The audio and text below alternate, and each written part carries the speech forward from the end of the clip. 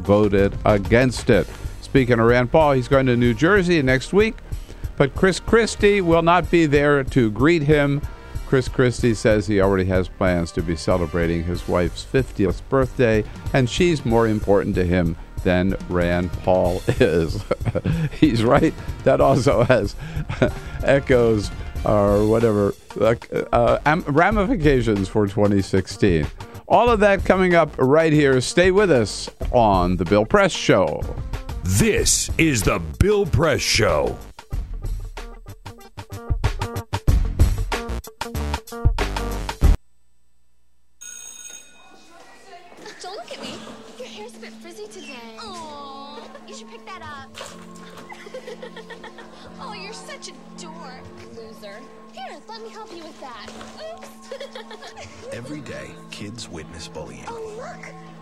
Your crush is looking at you. Poor you. They want to help, but don't know how. See, no one here's gonna help you, because no one Teach your kids how to be more than a bystander. Visit stopbullying.gov. If you drive buzzed, it could cost you around $10,000. You'll face major legal fees, major fines, and steep insurance penalties. You could lose everything. Nothing kills a buzz like getting pulled over for buzz driving, because buzz driving is drunk driving. When some people struggle with their mortgage payments, they become frozen, petrified. Not knowing what to do, they do nothing. But the people who take action are far more likely to get the most positive outcome. Making home affordable is a free government program. Call now to talk one-on-one with a housing expert about the options that are right for you. Real help, real answers, right now. Here at the GED Pep Talk Center, we have pep talkers standing by to get you motivated for your GED diploma. Text the name Terry to 69222 for a sympathetic pep talk. You show people what you really are. Or for a gentle pep talk, text the name Deborah. You know you're going to make people very proud of you. And if that's not enough, text the name Danny for an extreme pep talk. Prove everyone wrong. Show them you're the boss. Get your GED pep talk and find free GED classes. Text the name of the person you want a pep talk from to 69222.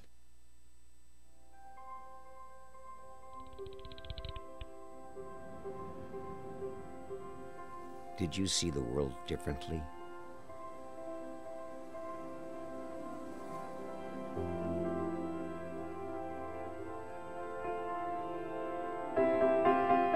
Did you celebrate the victory?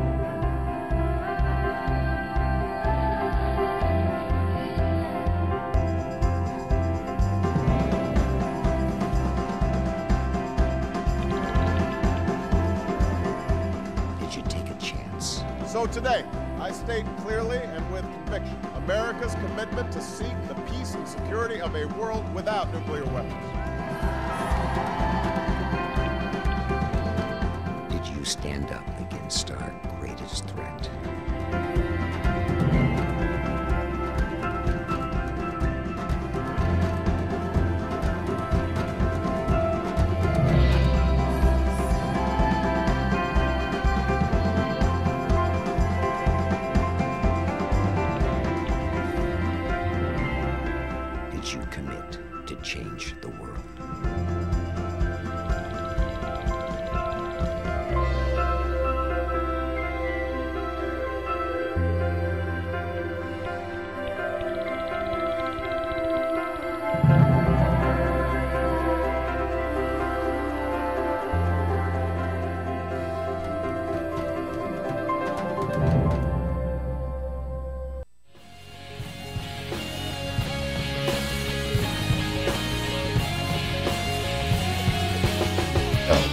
On your TV and online.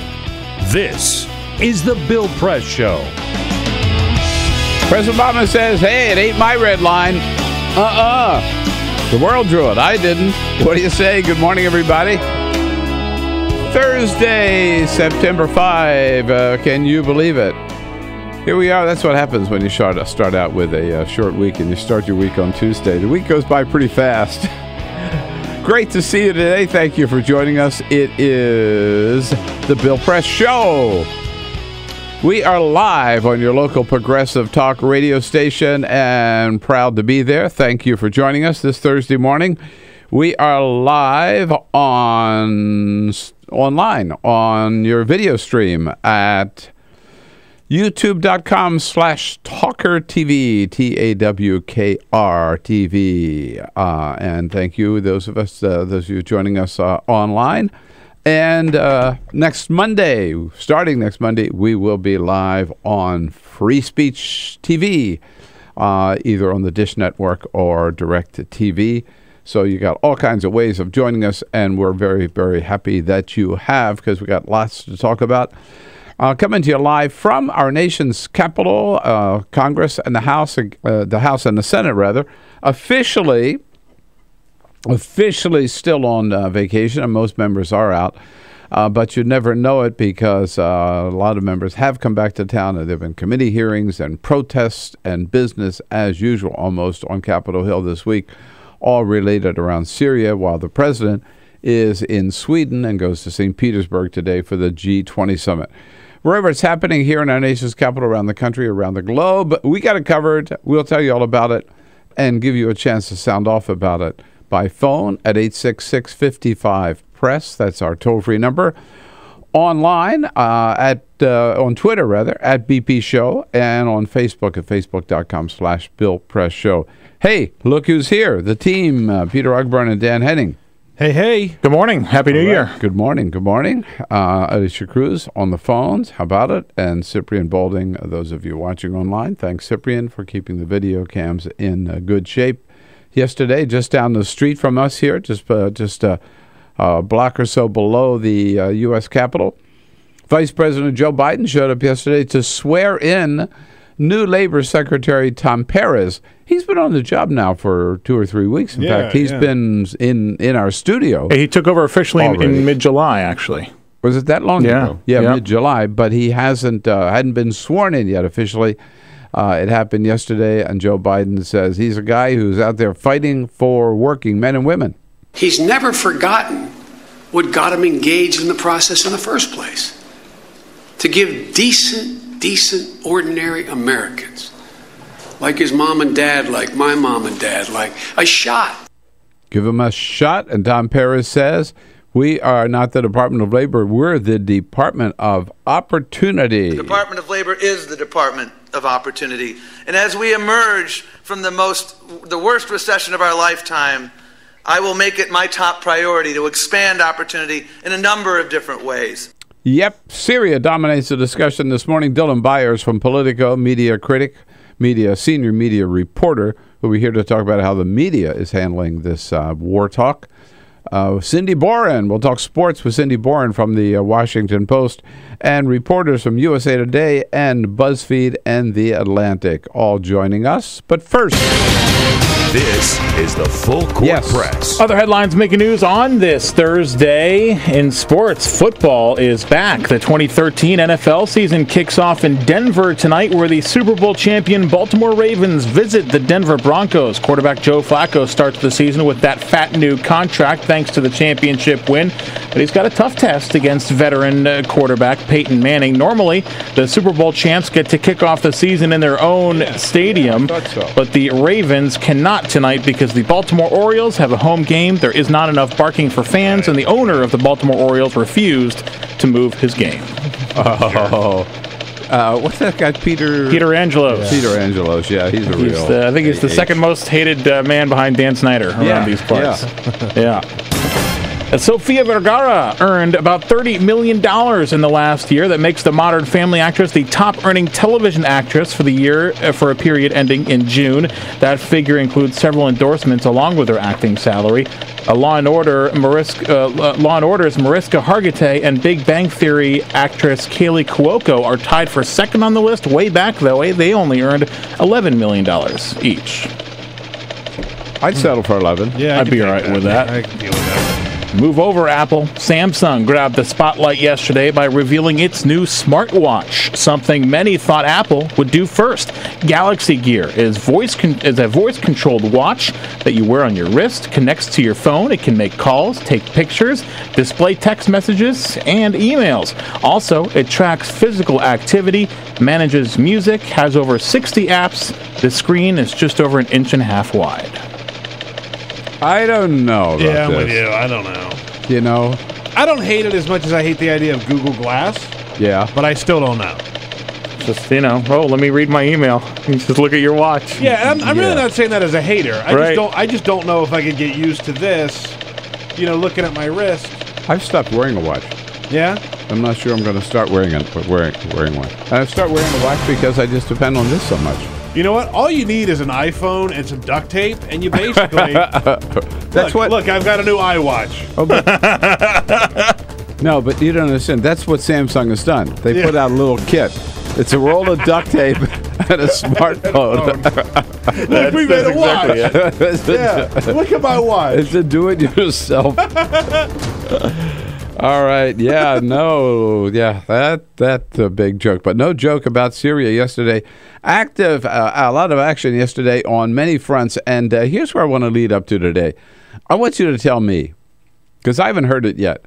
I want you to tell me one good reason, one good reason for not acting. One good reason for not uh, sending a military strike against um, Bashar al Assad for using chemical weapons. Okay? It's easy to come up with excuses. It's easy, as President Obama said, to find a way for doing nothing, find an excuse for doing nothing. Give me one good reason for not acting. Now, what happened yesterday, of course, in the Senate Foreign Relations Committee? First of all, uh, the big vote. It was the first test, if you will, of President Obama's um, call on Congress to support a military, military strike in Syria. The vote came down 10 to 7, 10 for, 7 against. It was a bipartisan vote. Those voting yes included Bob Menendez, uh, Senator Corker from Tennessee, Chris Coons from Delaware, Dick Durbin from Illinois, Jeff Flake, Republican from uh, from Arizona, John McCain, of course, uh, Republican from Arizona, also.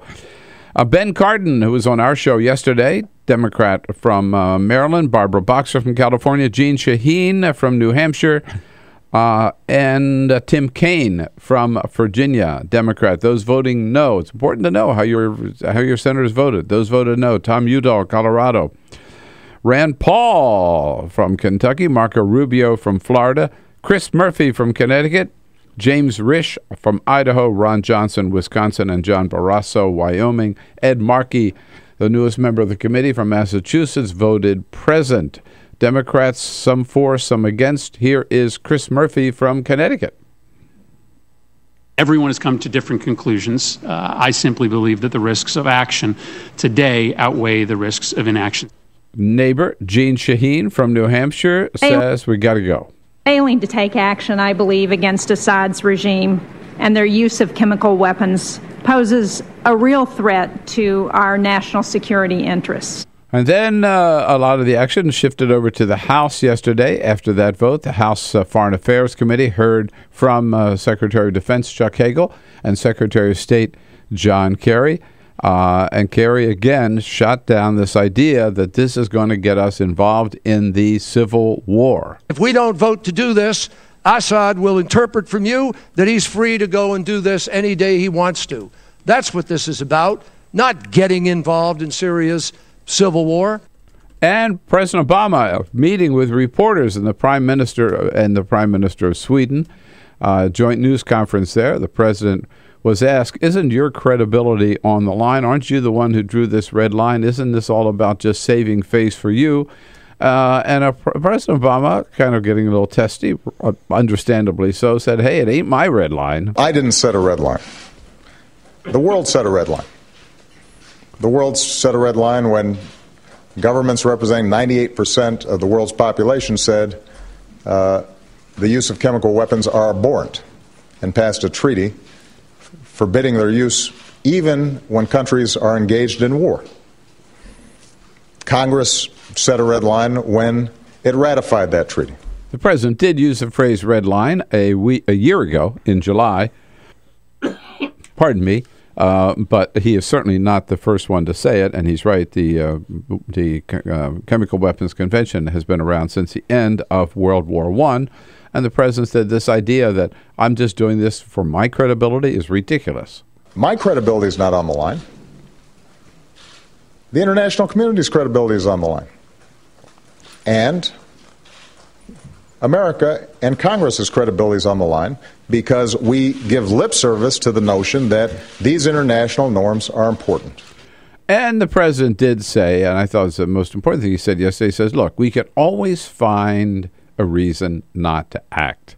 And we've heard a lot of them lately. Uh, and I, I, you know, look, I'm not a I'm not a hawk at all. I'm basically a dove, but I'm not totally against military power. And I do think in this case, given that chemical weapons were used, and by the way, have you noticed this is not another Iraq? We know there are weapons of mass destruction here. Everybody accepts that. Every member of Congress, every senator we've talked to, whether they're going to vote for it or against it, accepts the fact yes, chemical weapons were used, and there's no doubt who's responsible. So this is not another Iraq. Don't think of it that way. Everybody accepts those two premises. The question is, should we do anything? And the, the the the reasons that I've heard so far for not doing it, I don't think add up. Number one, we want to go through the United Nations. Yeah, fine, good. Well, impossible as long as Russia has a veto power, and they've used it already to block any uh, uh, actions against Syria. So that's that's out. Then the other thing you hear all the time is, why does it have to be us? Why can't somebody else do it? Well, you know what?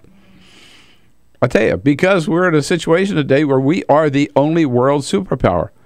As Jim Moran, Congressman, pointed out yesterday, our military budget is is bigger than all the military budgets of all other countries combined. So you know, with that power comes some responsibility. Uh, nobody else can do it. What are you going to? You going to want Greece to do it? Or how about Uruguay? All right, no, this is Uruguay's turn. Yeah, they're going to grow. That ain't going to happen. Uh, so then, then people say, well, yeah, what if? What if we don't know? What if? What if uh, Bashar al-Assad bombs Israel or attacks Israel? What if he attacks Turkey? What if he attacks? Who knows, right? What if he uses chemical weapons? What if? What if? What if? What if? You know, anything you do in life you you never know. You never know what possibly might happen after that. At some point, you just got to say, "Look, this is the right thing to do. We got to take our chances, and we're going to do the right thing." I think there's only one, and I challenge you again. Give me one good reason for no military strike against Syria. I think there's only one good reason. And the only one good reason is if you are 100% in all cases against the use of military force, if you would oppose World War II because you think military force is always, always wrong, morally wrong. That I accept. You are a conscientious objector. You are a true, true pacifist, Quaker. Fine, I will accept that. Otherwise, I think it's BS. Mostly BS. Uh, give me one good reason. 866 55 Press. Convince me that we ought to sit on our hands and let Bashar al Assad kill 1,400 people. Do you see those rows of all those little children there wrapped in their shrouds? Let him get away with that. Let him do it again and do nothing? I don't think so. Give me one good reason 866 55 Press. Follow us on Twitter at BP Show. This is The Bill Press Show.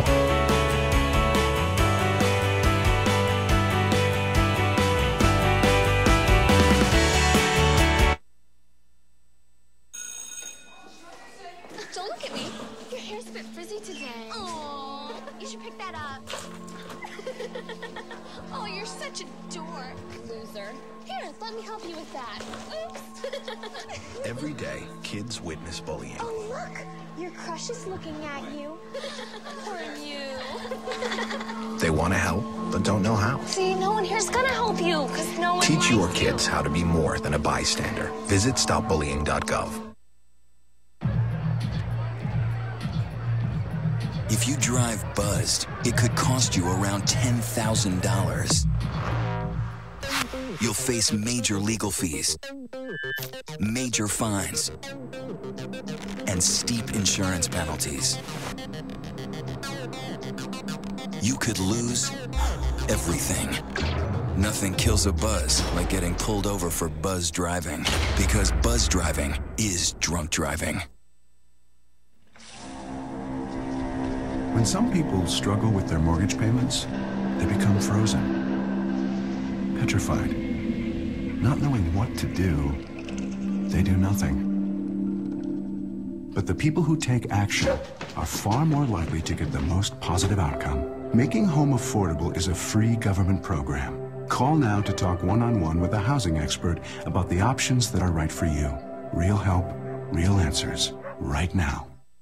Here at the GED Pep Talk Center, we have pep talkers standing by to get you motivated for your GED diploma. Text the name Terry to 69222 for a sympathetic pep talk. You show people what you really are. Or for a gentle pep talk, text the name Deborah. You know you're going to make people very proud of you. And if that's not enough, text the name Danny for an extreme pep talk. Prove everyone wrong. Show them you're the boss. Get your GED pep talk and find free GED classes. Text the name of the person you want a pep talk from to 69222.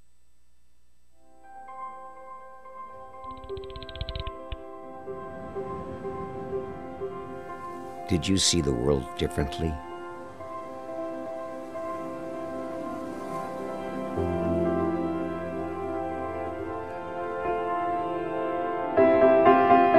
Did you celebrate the victory?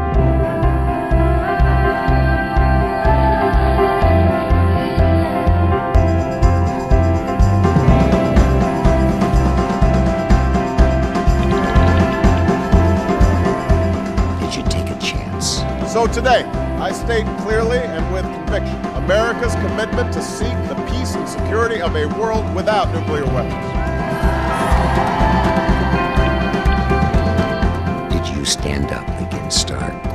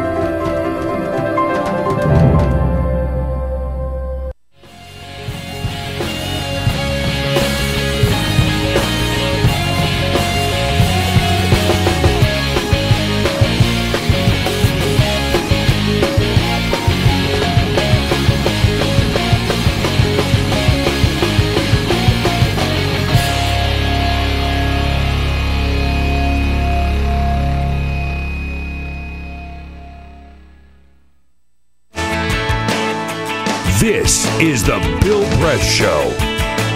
25 minutes after the hour. Happy New Year, by the way. Rosh Hashanah began at sundown. Uh, um, sundown. Or sun, yeah, Sundown began at last night. sundown last night, right.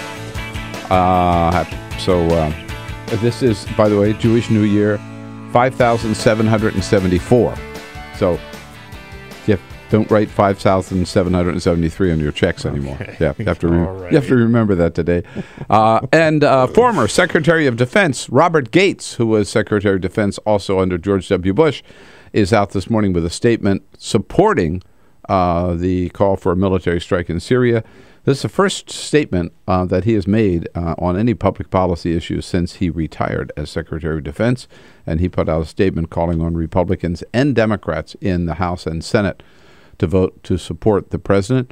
Uh, we're looking for one good reason 866 55 Press. Pete out in Chicago on the, the great WCPT. What do you say, Pete? Good morning. Good morning, guys. Uh, listen, uh, you stole my thunder when you said about Israel because it could widen into a regional war. So I'm going to ask you a question, okay? Because when I was on hold, I thought of it. Give me one good reason why we should go in. Uh, I think we've heard one good reason why we should be in because as a as a world we have said uh, that nobody should use chemical weapons again, and anybody who does will be held responsible. Okay, then. And, and I have- would add another one. If we do not do anything, I think it's pretty clear that uh, Bashar al Assad and other people like him will feel free to use chemical weapons. Okay, but, then but, why but I, I ask the questions here. So you're saying, just so I make it clear, you're saying the one good reason we should not do it is because he might then lob a missile on Israel. Is that it? and then Israel will retaliate, and then Iran right now will get involved, and then we'll have a regional war, and we'll get sucked into something like we did with Iraq. All right. Uh, you know what, Pete? There, there, there's no, there's a risk. There's a risk of that. There's no guarantee of that. I, I think Bashar al-Assad is not that stupid. Listen, against the United States and Israel, are you kidding me? It'd be a, I mean, it'll be a parking lot overnight. Overnight. Prepared for it. He Are you prepared. to send in our U.S. troops? No, uh, to no, do that? no. And I don't think I, I. I think the president's clear. We're not going to do it. And uh, look, uh, the one thing you can say about Obama, he does not want another war in the Middle East. There's not going to be a third war in the Middle East. We are not going to war against Syria. We are not going to war against Iran. John McCain was not elected. Anna's up in Buffalo, New York. Hey, Anna, I listen on WWKB, that great blowtorch up there in uh, northern New York. Hi, Anna. Hi, Bill. Um, Bill, I'm sorry. I'm really having a hard time. I love you, but you know what? There are atrocities going on in the world, even as we speak. There was Darfur for years.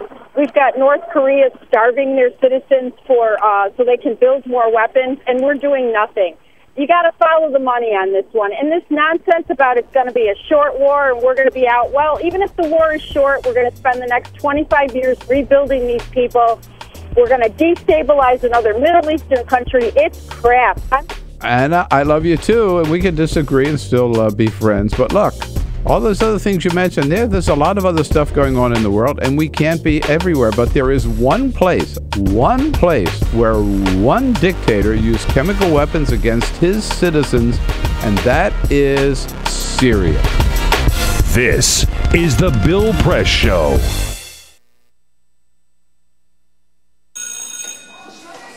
Don't look at me. Your hair's a bit frizzy today.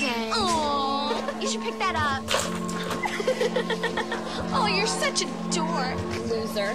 Here, let me help you with that. Oops. Every day, kids witness bullying. oh, look, your crush is looking at you. Poor you. They want to help, but don't know how. See, no one here's gonna help you because no one. Teach your you. kids how to be more than a bystander. Visit stopbullying.gov.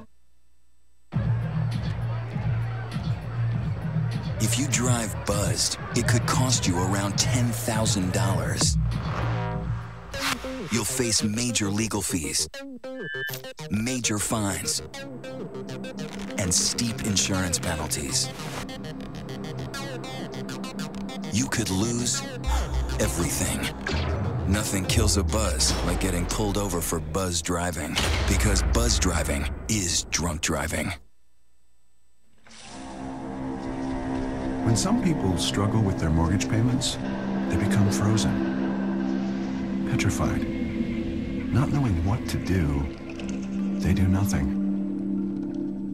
But the people who take action are far more likely to get the most positive outcome. Making home affordable is a free government program. Call now to talk one on one with a housing expert about the options that are right for you. Real help, real answers, right now. Here at the GED Pep Talk Center, we have pep talkers standing by to get you motivated for your GED diploma. Text the name Terry to 69222 for a sympathetic pep talk. You show people what you really are. Or for a gentle pep talk, text the name Deborah. You know, you're going to make people very proud of you. And if that's not enough, text the name Danny for an extreme pep talk. Prove everyone wrong. Show them you're the boss. Get your GED pep talk and find free GED classes. Text the name of the person you want a pep talk from to 69222.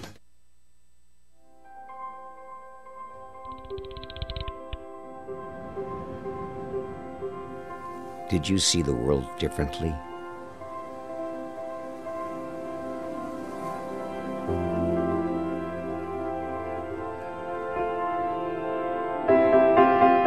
Did you celebrate the victory?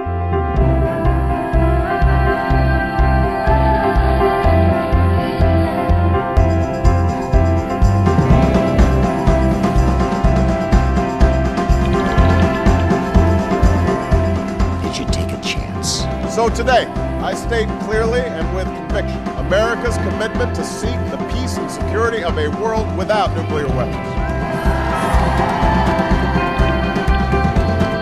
Did you stand up against our greatest threat?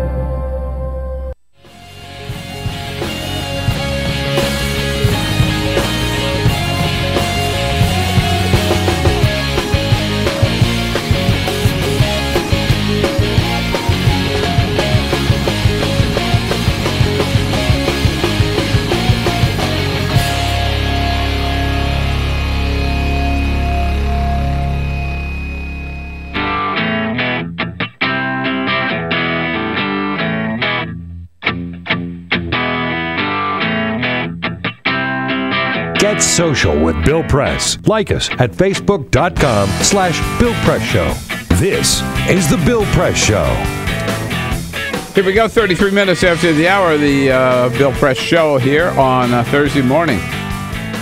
Thursday, September 5, coming to you from live from our nation's capital, brought to you today by the Laborers International Union, the good men and women of the Laborers Union under President Terry O'Sullivan, building a better America. That's their website, too. Liuna, L-I-U-N-A, buildsamerica.org. Liuna, buildsamerica.org. Uh, We're talking about Syria looking for one good reason not to, um, not to hold Bashar al Assad responsible for the use of chemical weapons, make sure he doesn't do them again. Uh, that's what the convention, the Chemical Weapons Convention calls for.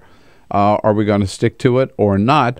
We mentioned earlier that the uh, Democratic Part Democrats were split on this issue, some voting for military strikes, some against it. Republicans are split as well. Marco Rubio says, I'm not convinced. I remain unconvinced that the use of force proposed here will work. The only thing that will prevent Assad from using chemical weapons in the future is for the Syrian people to remove him from power. Yeah, might wait might, might wait a long time for that. Uh, John McCain, on the other hand, says this, this, is, this is the right move the president's making. We got to support him. The president has said Bashar Assad must go.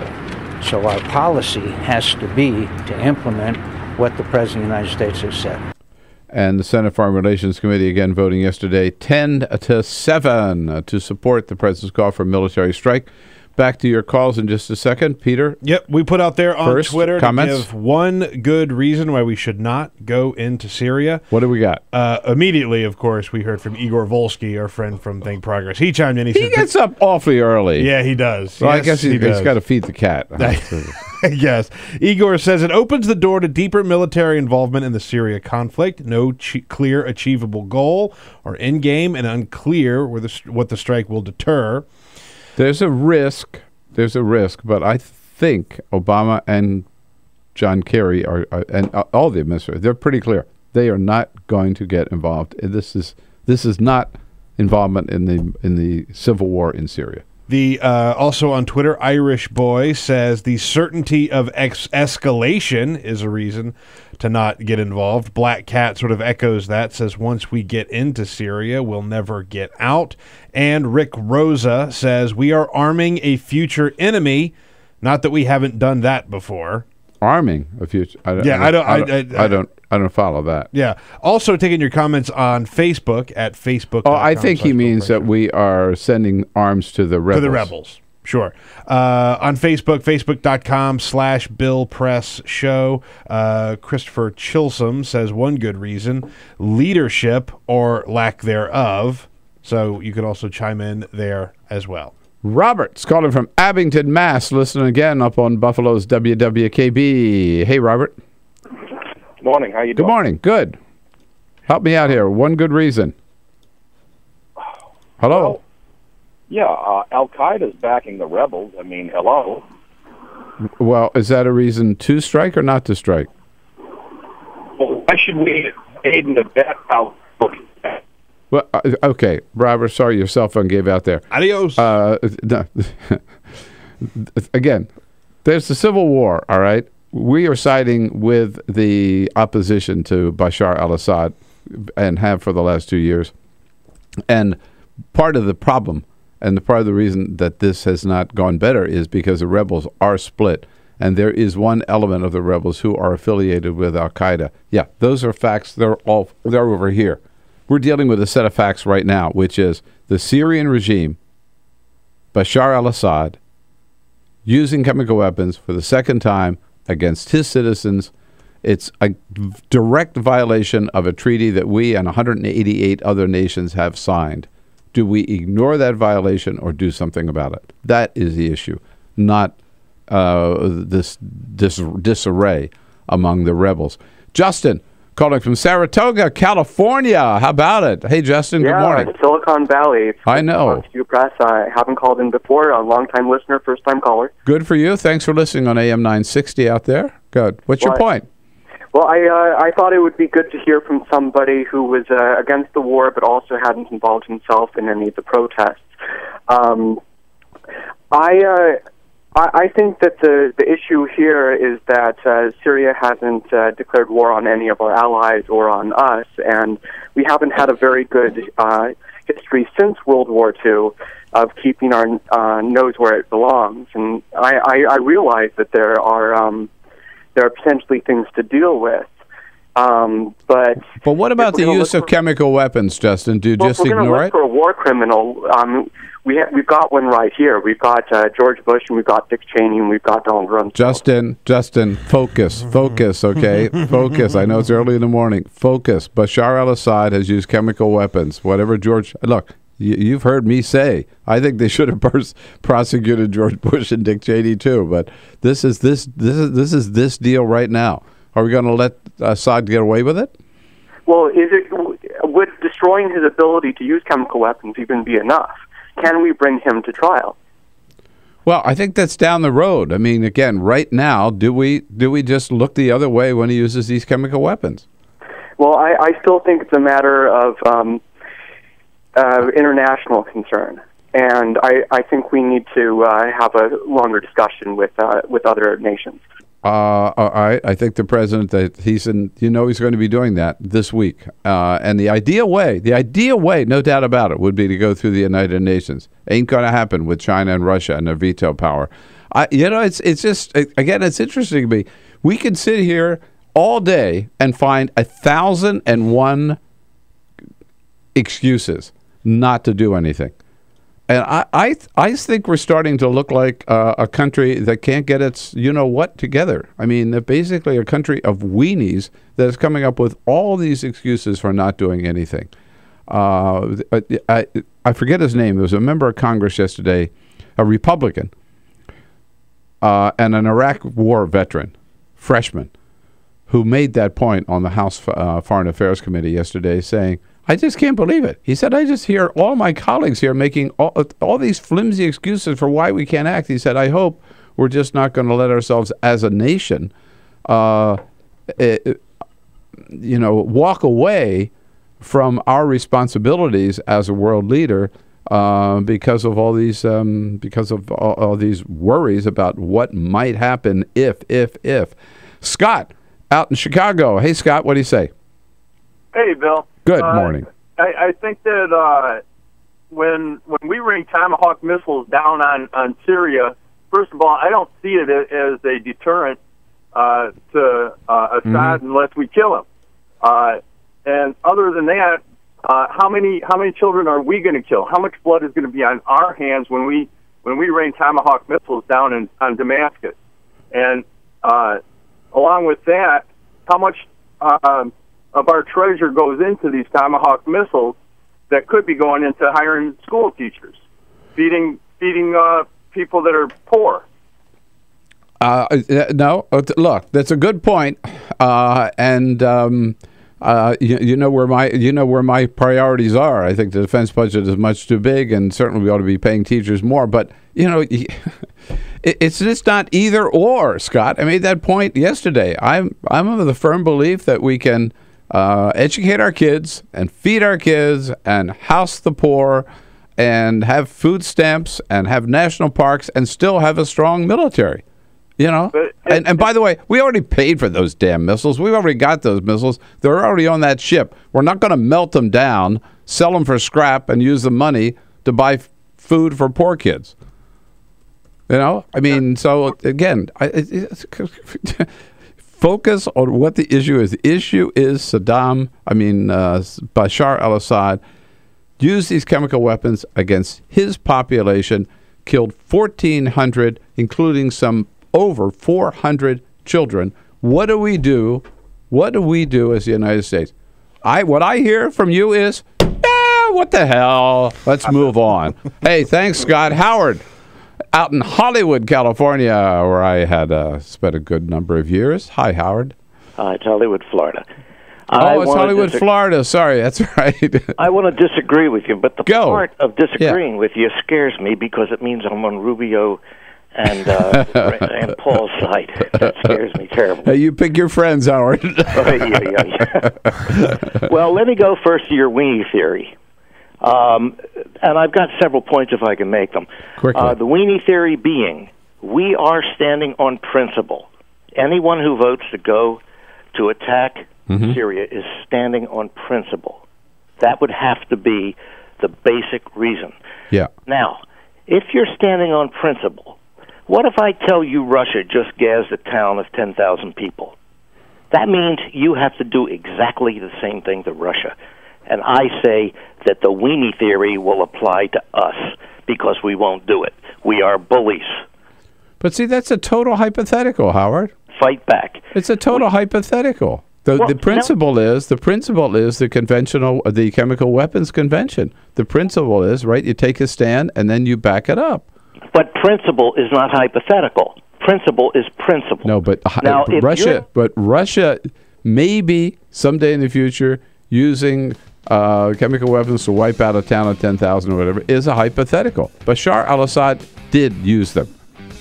But the the fact that we're talking about principle, and I'm saying to you, are you willing right now to say that if Russia does, you will attack them? You must say yes. Otherwise, you are not using principle. Uh, and I'm telling you, I deal with real facts and not with hypotheticals. And again, that by by that logic, you, by that logic, we would never do one damn thing in our entire life. As a nation, we would be helpless. We would be uh, just uh, a, a, a total non-starter as a nation if we followed that principle. That we have to avoid every hypothetical thing that could ever go wrong from any action we would ever take. That's not the United States of America that I know. Hey, when we come back, President Obama is sticking it to Vladimir Putin, by the way, Howard, by meeting with LGBT leaders uh, in Russia. We'll talk about that when we come back. This is the Bill Press Show.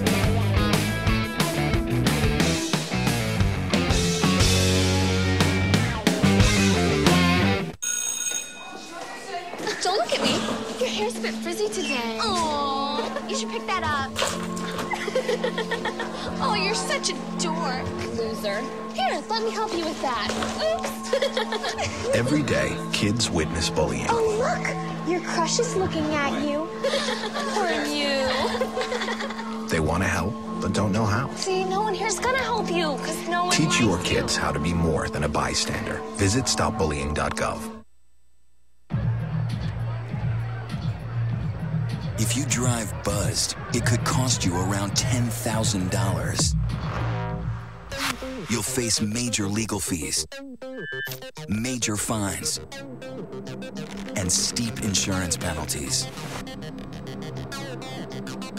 You could lose everything. Nothing kills a buzz like getting pulled over for buzz driving, because buzz driving is drunk driving. When some people struggle with their mortgage payments, they become frozen, petrified, Not knowing what to do, they do nothing. But the people who take action are far more likely to get the most positive outcome. Making home affordable is a free government program. Call now to talk one on one with a housing expert about the options that are right for you. Real help, real answers, right now. Here at the GED Pep Talk Center, we have pep talkers standing by to get you motivated for your GED diploma. Text the name Terry to 69222 for a sympathetic pep talk. You show people what you really are. Or for a gentle pep talk, text the name Deborah. You know, you're going to make people very proud of you. And if that's not enough, text the name Danny for an extreme pep talk. Prove everyone wrong. Show them you're the boss. Get your GED pep talk and find free GED classes. Text the name of the person you want a pep talk from to 69222.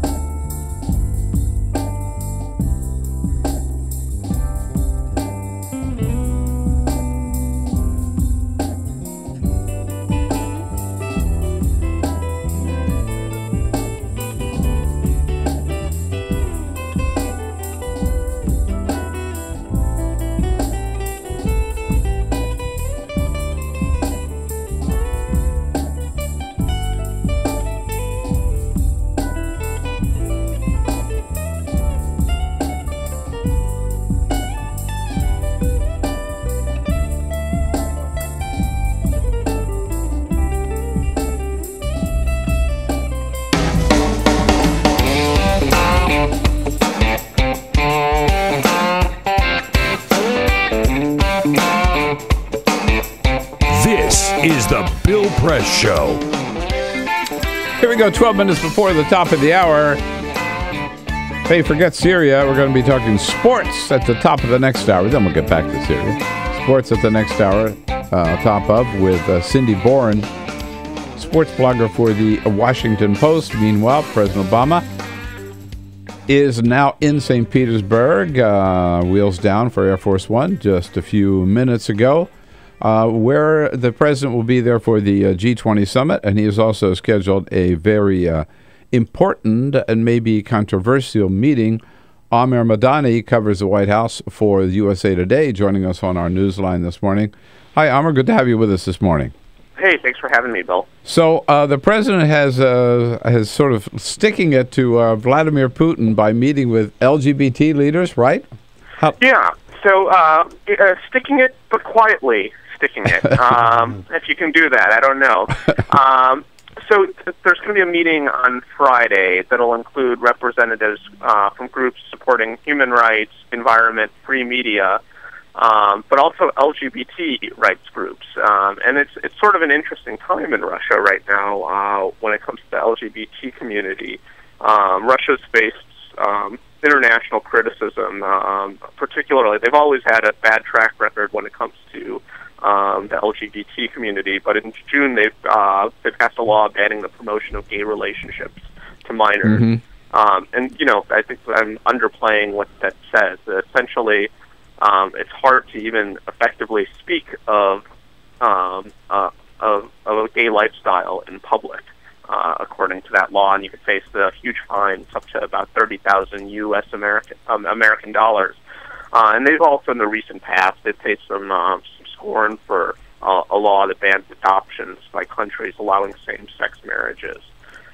Um, so it, it comes in, in this background. Um, Obama's going to, uh, you know, has included, decided to include LGBT groups in these this meeting that he's going to have with civil society uh, leaders while he's in St. Petersburg. It certainly is a way of sending a message to Vladimir Putin. The president has spoken out already, saying, you know, he he's appalled by some of these policies of Russia, uh, and uh, and and I think. Uh, i- i- it's it's certainly significant that the president has uh, canceled his one his one on one meeting with Vladimir Putin, right? But is meeting with these LGBT people. It's a, it's a, it's an in your face statement, I think, which I appreciate. I think so. I think it, well, well, you know, I think that's true. I think it's going to irk Putin, um, who spoke to it a little bit yesterday.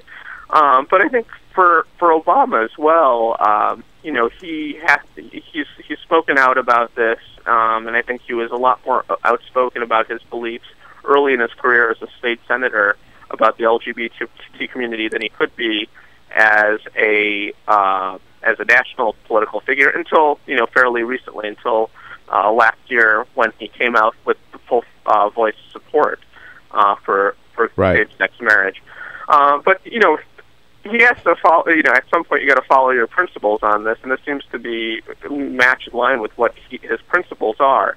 He and has, got- yeah, he has. If I just jump in, he has scheduled one-on-one meetings at the G20 with uh, David Cameron from Britain, with Francois Hollande from France, and a couple of others I know. Has uh, uh, do you think there will be maybe even uh, you know thrown in at the last minute a one-on-one with Putin, or are they going to stick to uh, just a handshake as they walk in and out of the room or something?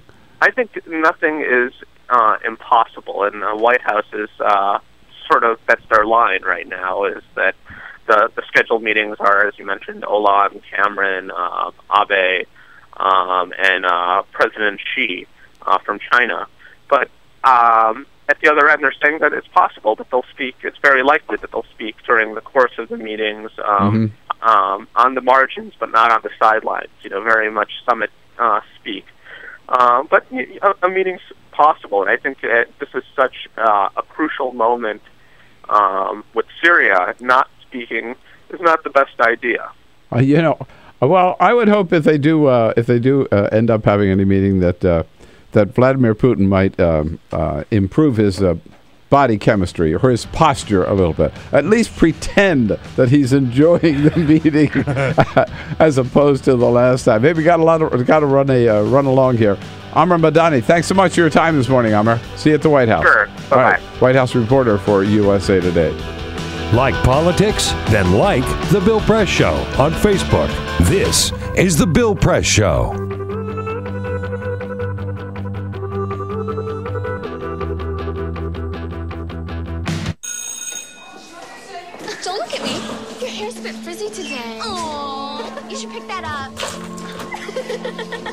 oh, you're such a dork, loser. Here, let me help you with that. Oops. Every day, kids witness bullying. oh, look. Your crush is looking at you. Poor you. They want to help, but don't know how. See, no one here's gonna help you, because no one Teach likes your you. kids how to be more than a bystander. Visit stopbullying.gov. If you drive buzzed, it could cost you around $10,000. You'll face major legal fees, major fines, and steep insurance penalties. You could lose everything. Nothing kills a buzz like getting pulled over for buzz driving, because buzz driving is drunk driving. When some people struggle with their mortgage payments, they become frozen, petrified. Not knowing what to do, they do nothing. But the people who take action are far more likely to get the most positive outcome. Making home affordable is a free government program. Call now to talk one on one with a housing expert about the options that are right for you. Real help, real answers, right now. Here at the GED Pep Talk Center, we have pep talkers standing by to get you motivated for your GED diploma. Text the name Terry to 69222 for a sympathetic pep talk. You show people what you really are. Or for a gentle pep talk, text the name Deborah. You know, you're going to make people very proud of you. And if that's not enough, text the name Danny for an extreme pep talk. Prove everyone wrong. Show them you're the boss. Get your GED pep talk and find free GED classes. Text the name of the person you want a pep talk from to 69222.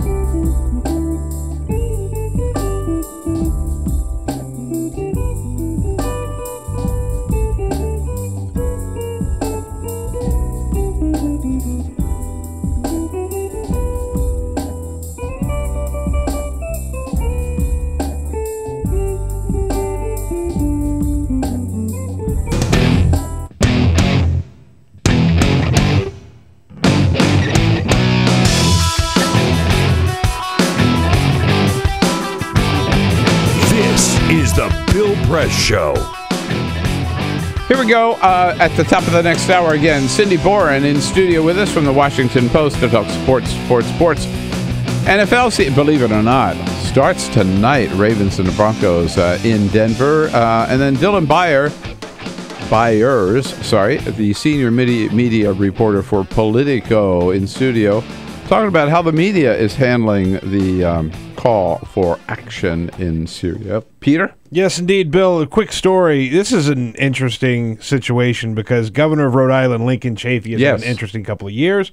He was elected as an independent in 2010. He changed his status to a Democrat in Became a May. Democrat, right? And yesterday he announced that he is not going to run for a second term as governor of Rhode Island. This is still his first term. Yeah, that's right. Yeah, it's still his first term. Well, what the hell? What's going on? I I mean, I, who knows? I mean, he you know people thought when he changed to a Democrat that he, you know he was already looking ahead to sort of a nasty primary battle, and so they figured that this was a clear move that he was going to run again as a Democrat, but he decided not to. Uh, Lincoln Chafee, good man and a very independent man, uh, and drove the Republican Party crazy when he was uh, here as the United States Senator because he didn't always vote the uh, party line. That's why he became an independent and then eventually became a Democrat. And the son, of course, of a great United States Senator from Rhode Island, uh, John Chafee. Uh, football coming up tonight, believe it or not. Cindy Boren will tell us all about it. This is the Bill Press Show.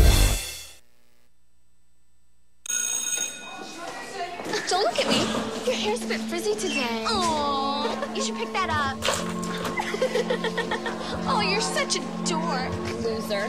Here, let me help you with that. Oops. Every day, kids witness bullying. oh, look. Your crush is looking at you.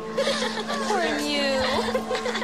They want to help, but don't know how. See, no one here's gonna help you, because no one Teach your likes you. kids how to be more than a bystander. Visit stopbullying.gov. If you drive buzzed, it could cost you around $10,000. You'll face major legal fees, major fines, and steep insurance penalties. You could lose everything. Nothing kills a buzz like getting pulled over for buzz driving, because buzz driving is drunk driving.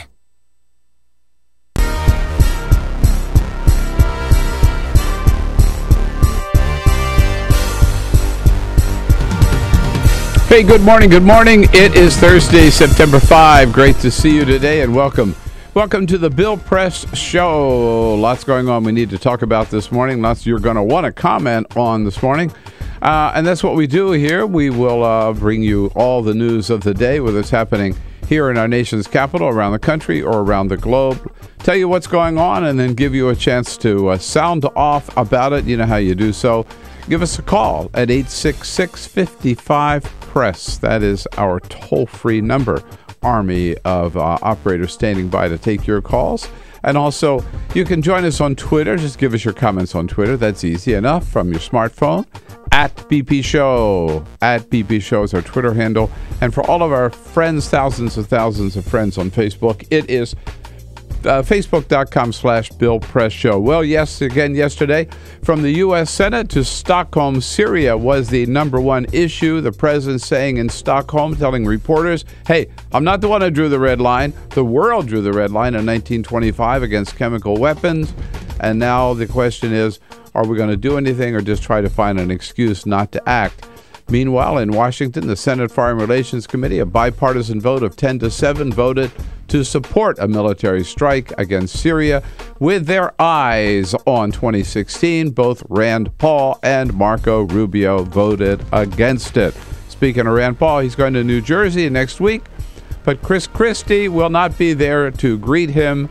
Chris Christie says he already has plans to be celebrating his wife's 50th birthday, and she's more important to him than Rand Paul is. He's right. That also has echoes or whatever, uh, am- ramifications for 2016. All of that coming up right here. Stay with us on The Bill Press Show. This is the Bill Press Show.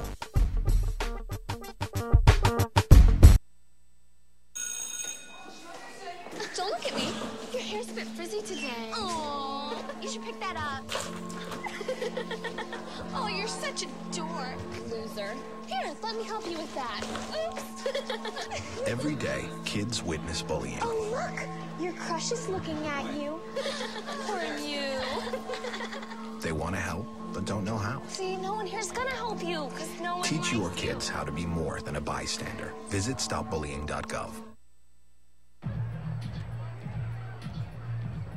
If you drive buzzed, it could cost you around $10,000. You'll face major legal fees, major fines, and steep insurance penalties. You could lose everything. Nothing kills a buzz like getting pulled over for buzz driving, because buzz driving is drunk driving. When some people struggle with their mortgage payments, they become frozen, petrified. Not knowing what to do, they do nothing. But the people who take action are far more likely to get the most positive outcome. Making home affordable is a free government program. Call now to talk one on one with a housing expert about the options that are right for you. Real help, real answers, right now. Here at the GED Pep Talk Center, we have pep talkers standing by to get you motivated for your GED diploma. Text the name Terry to 69222 for a sympathetic pep talk. You show people what you really are. Or for a gentle pep talk, text the name Deborah. You know, you're going to make people very proud of you. And if that's not enough, text the name Danny for an extreme pep talk. Prove everyone wrong. Show them you're the boss. Get your GED pep talk and find free GED classes. Text the name of the person you want a pep talk from to 69222.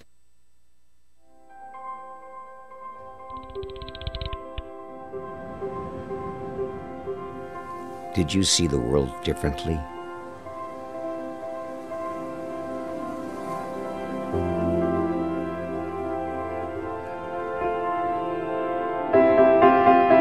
Did you celebrate the victory?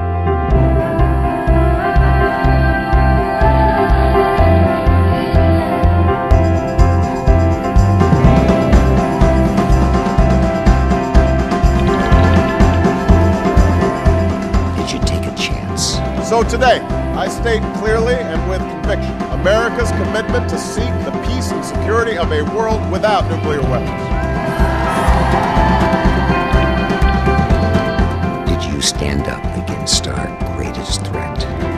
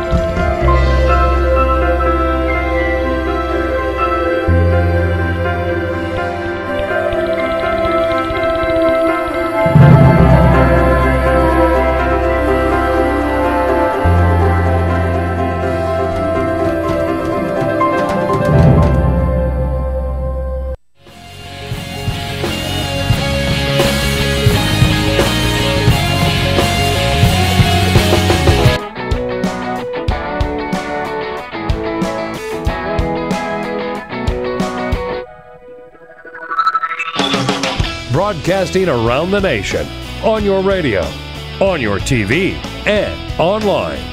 This is The Bill Press Show. It ain't my red line, says the president. Somebody else drew it. I'm just trying to enforce it. Hey, good morning, everybody. What do you say? It is Thursday, September 5. So good to see you today. And welcome to the Bill Press Show, booming out to you live all across this great land of ours, coast to coast, from our studio here on Capitol Hill in Washington, D.C. On your local progressive talk radio station, you bet. Proud to be. Uh, to start off the lineup there on all your local progressive talk radio stations around the country. And then you can catch us online at uh, a whole new site just started this week. YouTube.com slash Tawkr TV, T A W K R. Isn't that how everybody spells Talker? Around here it is. Yeah. YouTube.com slash Tawkr TV. Uh, join us there. And as of Monday, you'll be able to join us on Free Speech TV. Very excited about that, but not as excited as we are to welcome back to the program today uh, one of our favorite sports blogger for the Washington Post, Cindy Boren. Hi, Cindy. Good morning, Bill. Great to see you. It's great to be You're here. always an early morning person. We love that. Love that. Yeah. Thanks Especially you have to come across the river. Yeah. You know. Yes, always here early, always here on time. Yes. One of our favorite. You're like Diana Nyad. You, Yes. Diana Nyad. You you cross that. She was early. You know, they thought it would take 70 hours. It took her 50. She caught the Gulf Stream and she was. Oh, is that? I didn't Yeah. realize she It- arrived. she that. was- it was Well, you know what? much shorter than Seeing her come thought. ashore, it's a good thing. Yeah. Yeah. Because boy, she was beat I up. think she would've man. much longer. She was. Yeah, but God bless her. She's yeah. That's amazing. It is. I, I'm I'm a huge fan.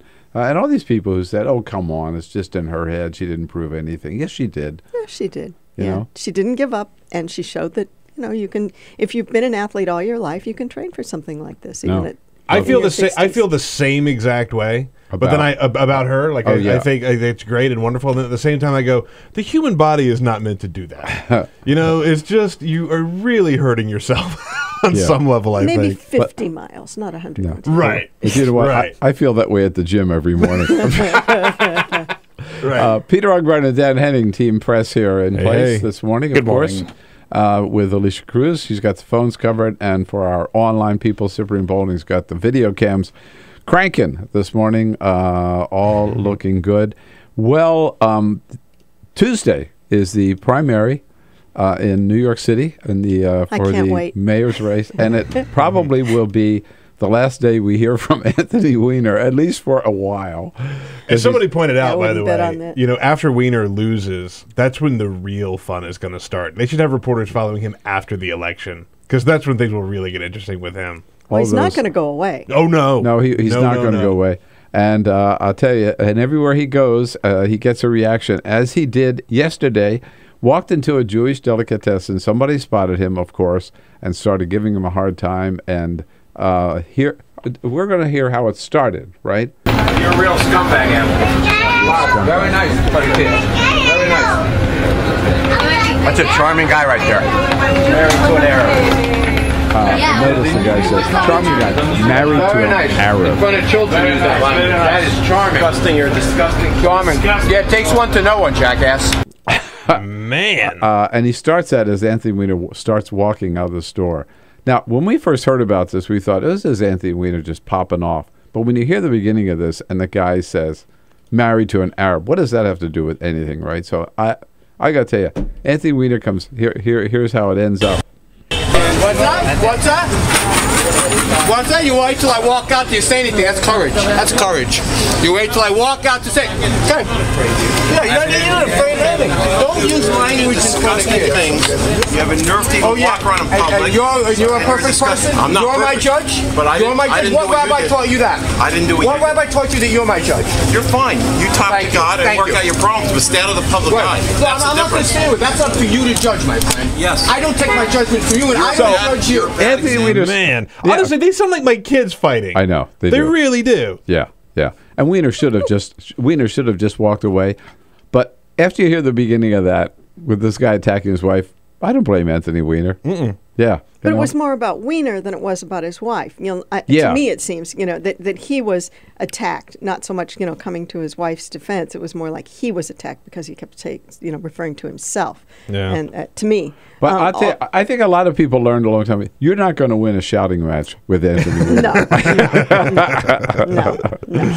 So, believe it or not, football starts tonight. The season starts tonight. Uh, Cindy Boren's going to tell us all about that and other good sports stuff. And Dylan Byers from uh, Politico, media re- senior media reporter, will be joining us uh, at the half. Cindy, we'll get right into it. But first, This Dan is and the, the big Full stories of Court the day. Other headlines making news on this Thursday. ABC revealed the cast for the next season of Dancing with the Stars yesterday. It's got a lot of variety from actress Valerie Harper, who's battling brain cancer, all the way to Snooki from from the Jersey Shore. Also, Leah Remini, who just left the Church of Scientology, is in it. Blue collar comedian Bill Engvall, Bill Nye the Science Guy, No. and former NFL star Keyshawn Johnson, among others. And Tucker? No. No, no Tucker Carlson. No Tucker Carlson. They usually have a political person in the mix. They don't have anybody, anybody really Mm-mm. political, I guess. Watch. They usually have more sports people too. Oh, And, yeah, You know, yeah. only Keyshawn. Anthony Weiner. You nailed it. I bet you. I guarantee you he'll be on a future season. He'll be on there a next future season. He'll be on next season because he won't be mayor. Oh. Nailed it. So many ways to go with that. Geraldo Rivera has lost a speaking engagement thanks to that nearly naked selfie he posted to Twitter back in July, where he was wearing nothing but a towel low across his waist in the bathroom.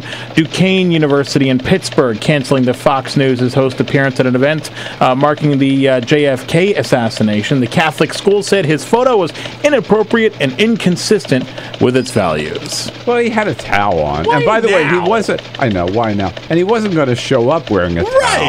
It's a little silly. And if you're a Baltimore Ravens fan, you're going to learn a lot more about Obamacare this football season. The Super Bowl champion NFL team has signed on to be the first sports franchise to partner with the White House to encourage participation in the new health care law. The Obama administration had trying a partner had tried partnering with the NFL in, in its entirety, but got too much pressure from Republicans, and now they're working on partnering with individual teams to promote enrollments. Are, are concussions covered under Obamacare? That's an interesting segue. Uh-huh. Cindy, let's start right there. Uh, is this appropriate? And do you think more teams are going to be doing it? Uh, I question whether more teams will be doing it just because of the number of owners that are actually uh, big Republican donors and billionaires. Yeah. Um, I, I think the Ravens, you know, being located here was probably part of, of why they, they jumped in on it and being the Super Bowl champions. Um, it's interesting. See where it goes. I'm not sure But- yet exactly where it goes. If it's if it were possible, which it probably is not, to put politics aside here, you'd have to say what they're saying is, hey, there's an opportunity. If you don't have health insurance, you got a chance to get it right now at bargain rates. You Mhm. couldn't get it. You couldn't qualify before, and you probably couldn't afford it, Mhm. and now you can. And for informing the American people of that opportunity should not be a political football No, it shouldn't. That's true. or football. Huh, that's yeah. good. That's good. but but it will be. So Oh, I I'm- get it. yeah. took, a while. Took a There's a little delay there. I got it. well, good for the Ravens. Is all I got to say. sure. All right. Before we get into tonight's season, uh, so are, are the Nats going to uh, make make it? I'm going to say no.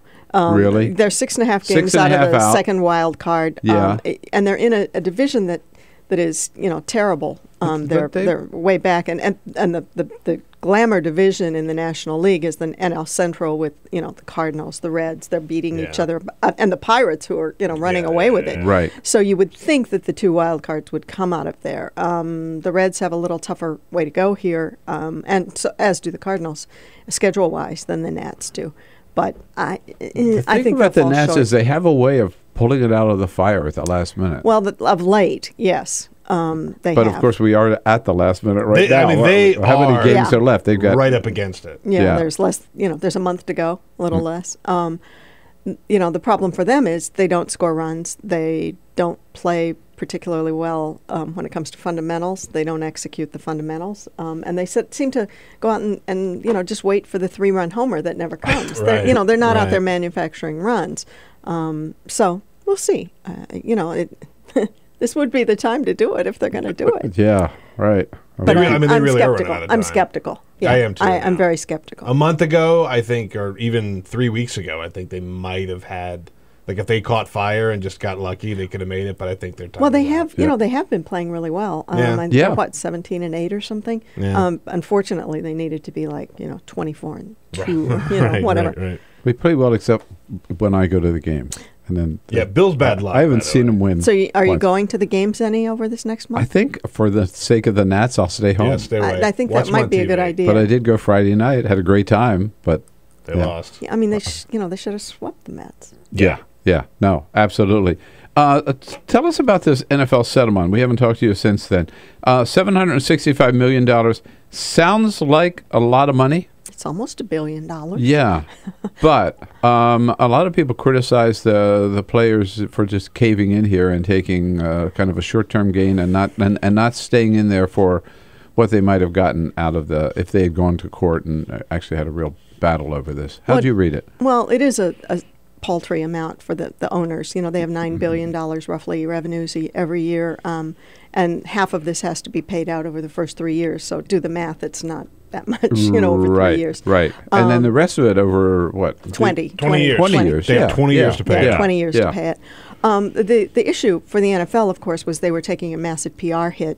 Um, the that was basically what the players had on their side was public relations. What the NFL had on its side was time and money, and the players, you know, have neither. They need both desperately. Um, they they don't have a lot of time. These are guys who are suffering, um, and they you know they they settled. The the troubling part of the settlement for me is the fact that, that all of this information that the NFL has is secret because that's the nature of settlements. You know, you Right. don't have to divulge Right. anything. And you know, I wish I I wish there were an, a, an open sharing of information there. I also don't think the lawsuits are over. I think more players will continue to sue. More can more can sue. And Uh, you know, there's the whole helmet thing that's still out there, the helmet lawsuit. Right. Uh, in fact, I saw an article this morning. Um, four former NFL players have sued the league and its Mhm. helmet maker. Right. Um, right. This is a new Mhm. uh, NFL concussion lawsuit. So this this this is unrelated. Yes. And, you know, some of the players, who, 4,000, 4,500 players who were in the first suit can still drop out before the settlement is accepted if they choose to um, by the judge. What's the answer here? Uh, I mean, there's no part of uh, part of the settlement did not, from what I saw, did not say we're going to do this differently or have different helmets or have different uh, rules of play, right? Or, Well, the, uh, the, the, the just the settlement also has. Uh, has some grassroots things, some some high school involvement, a little bit of collegiate involvement, but there's an NCAA lawsuit uh, pending as well over concussions and injuries. Um, so there will be a little bit of that, and the NFL has taken a, a public relations initiative with um, high schools. but they can't prevent head injuries, can they? Well, that's the problem. That's the downside. Um, I mean, you can you can do some of it by keeping your head out of tackles. You know, if you see what you tackle, you're not going to have your head in there.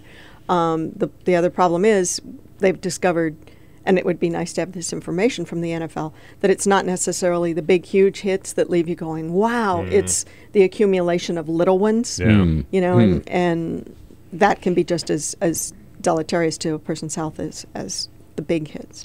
Uh, so tonight they're back on the field. They Ravens are. and the Broncos in Denver. Yeah.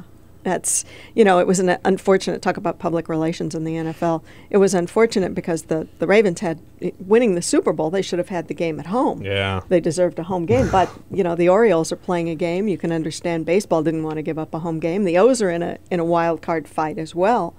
Uh, so the Ravens are going on the road to, of all places, Denver, where um, I didn't realize they that. weren't That's terribly great. they weren't terribly popular when they No. left there Yeah. last last winter uh, after what two overtimes. Yeah. Um, and then the, the you know the NFL typically puts up the, the big pictures of the Super Bowl champions all over town, which is a great thing if you're having a home game. But Yeah. if you're putting up pictures of Joe Flacco all over Denver and a giant picture of him on the side of the stadium, you can understand that Denver people are not too happy. Yeah.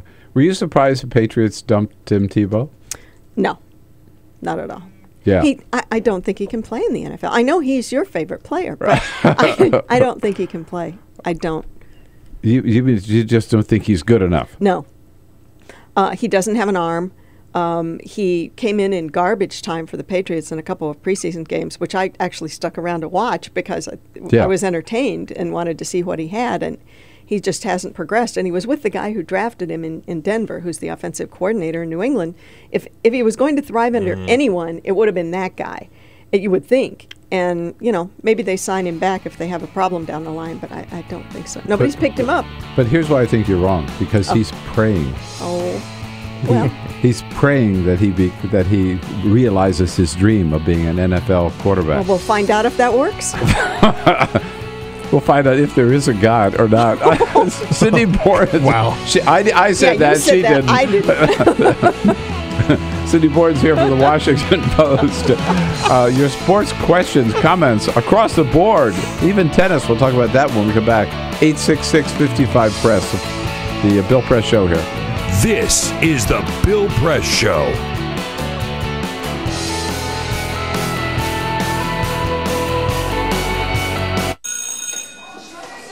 Don't look at me. Your hair's a bit frizzy today. Oh, you should pick that up. oh, you're such a dork, loser. Here, let me help you with that. Oops. Every day, kids witness bullying. oh, look. Your crush is looking at you. Poor you. They want to help, but don't know how. See, no one here's gonna help you, because no one Teach your kids how to be more than a bystander. Visit stopbullying.gov. If you drive buzzed, it could cost you around $10,000. You'll face major legal fees, major fines, and steep insurance penalties. You could lose everything. Nothing kills a buzz like getting pulled over for buzz driving, because buzz driving is drunk driving. When some people struggle with their mortgage payments, they become frozen, petrified. Not knowing what to do, they do nothing. But the people who take action are far more likely to get the most positive outcome. Making home affordable is a free government program. Call now to talk one on one with a housing expert about the options that are right for you. Real help, real answers, right now.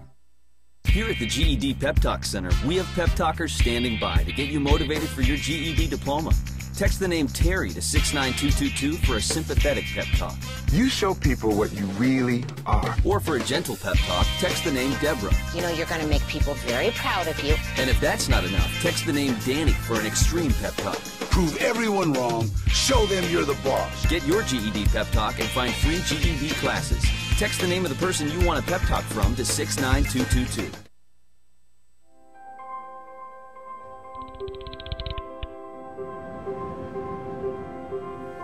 Did you see the world differently?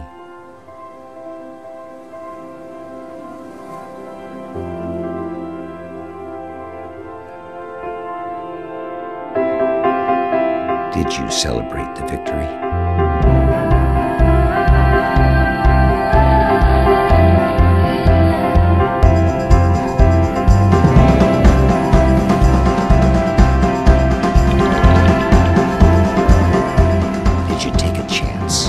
Today, I state clearly and with conviction America's commitment to seek the peace and security of a world without nuclear weapons.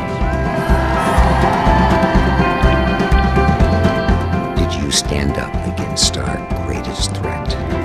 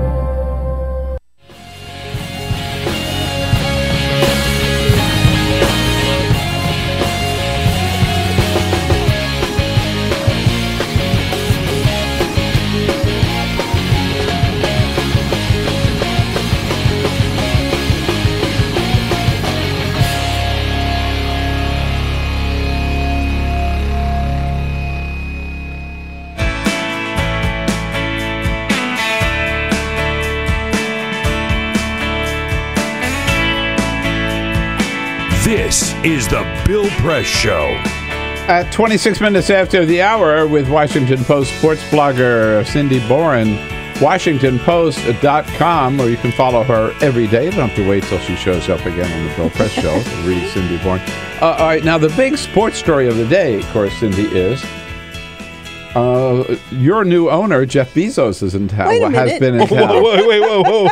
Uh, so what I want to know Wow, is he, called was here. audible. He was here Tuesday and Wednesday. Uh, were you in the meeting with him?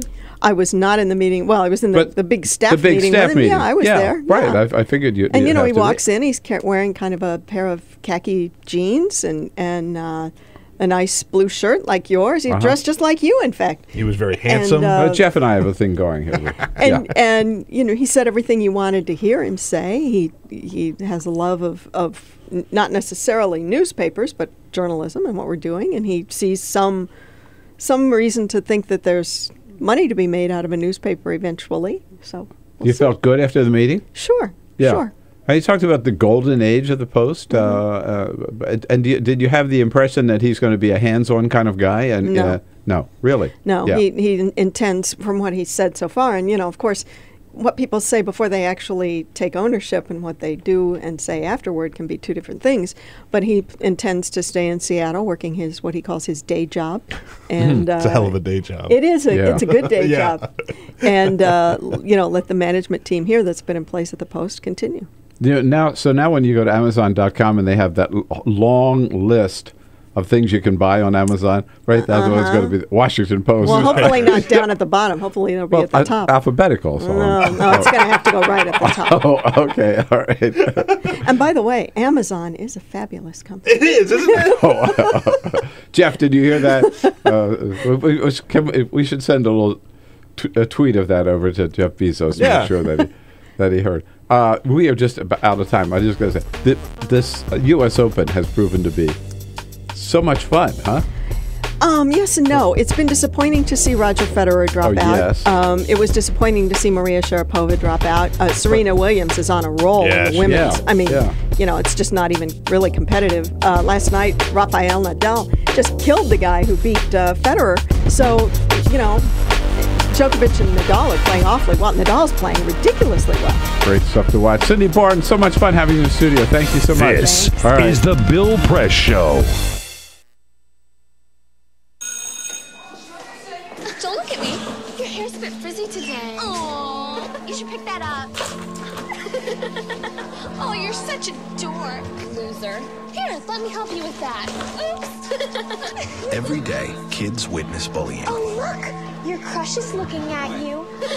Poor you. They want to help, but don't know how. See, no one here's gonna help you, because no one Teach likes your you. kids how to be more than a bystander. Visit stopbullying.gov. If you drive buzzed, it could cost you around $10,000. You'll face major legal fees, major fines, and steep insurance penalties. You could lose everything. Nothing kills a buzz like getting pulled over for buzz driving, because buzz driving is drunk driving.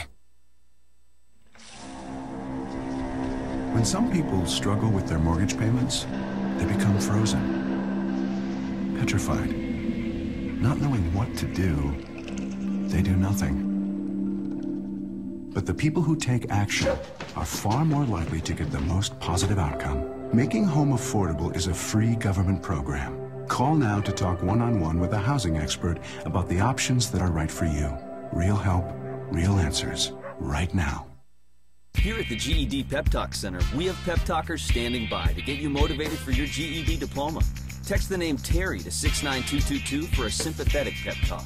You show people what you really are. Or for a gentle pep talk, text the name Deborah. You know, you're going to make people very proud of you. And if that's not enough, text the name Danny for an extreme pep talk. Prove everyone wrong. Show them you're the boss. Get your GED pep talk and find free GED classes. Text the name of the person you want a pep talk from to 69222.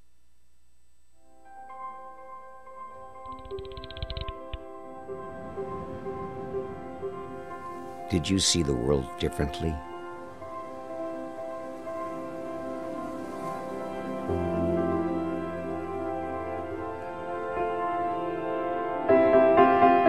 Did you celebrate the victory?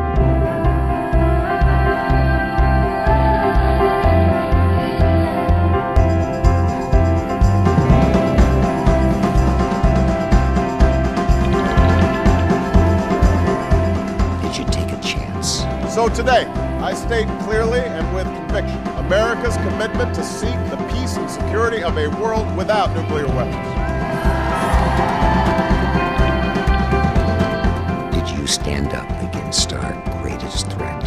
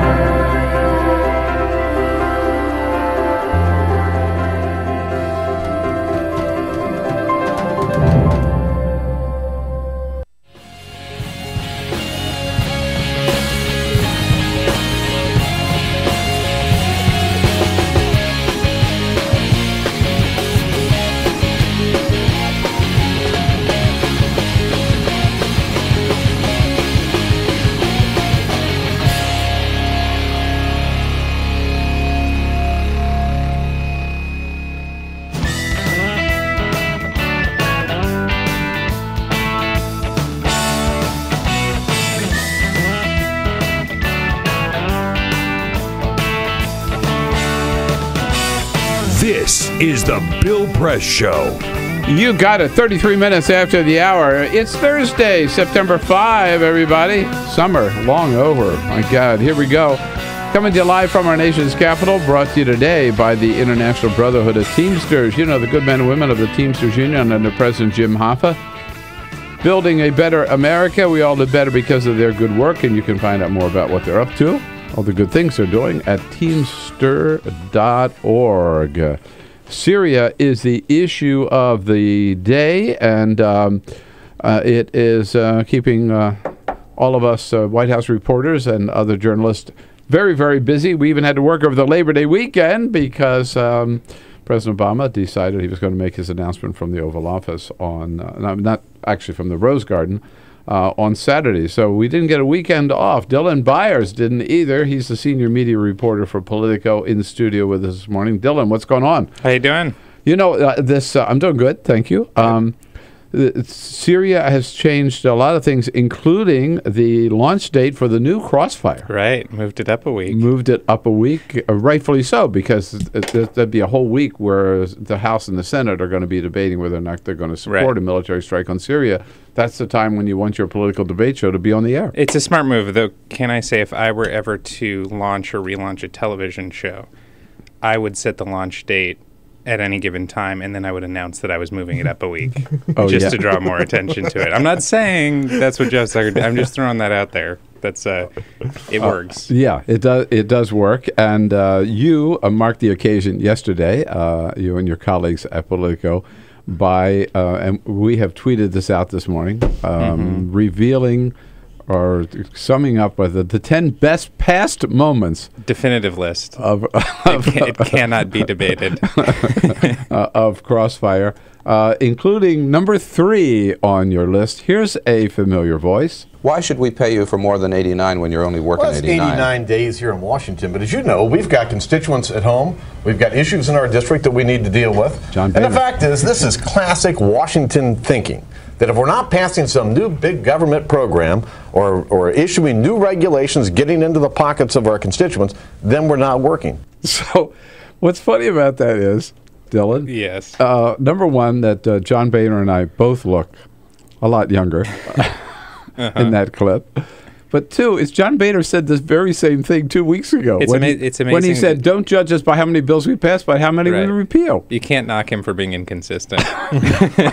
you know, I mean, that's really. I don't know what year that was, but it was 1998, 15 98. years ago. And the point I was making is, you worked 89 days this year, or Right. at this six months, or whatever the period was. Why should we be paying you Right. for I more think I than had the only been alive for 89 days. in 1998. oh, man. rub it in.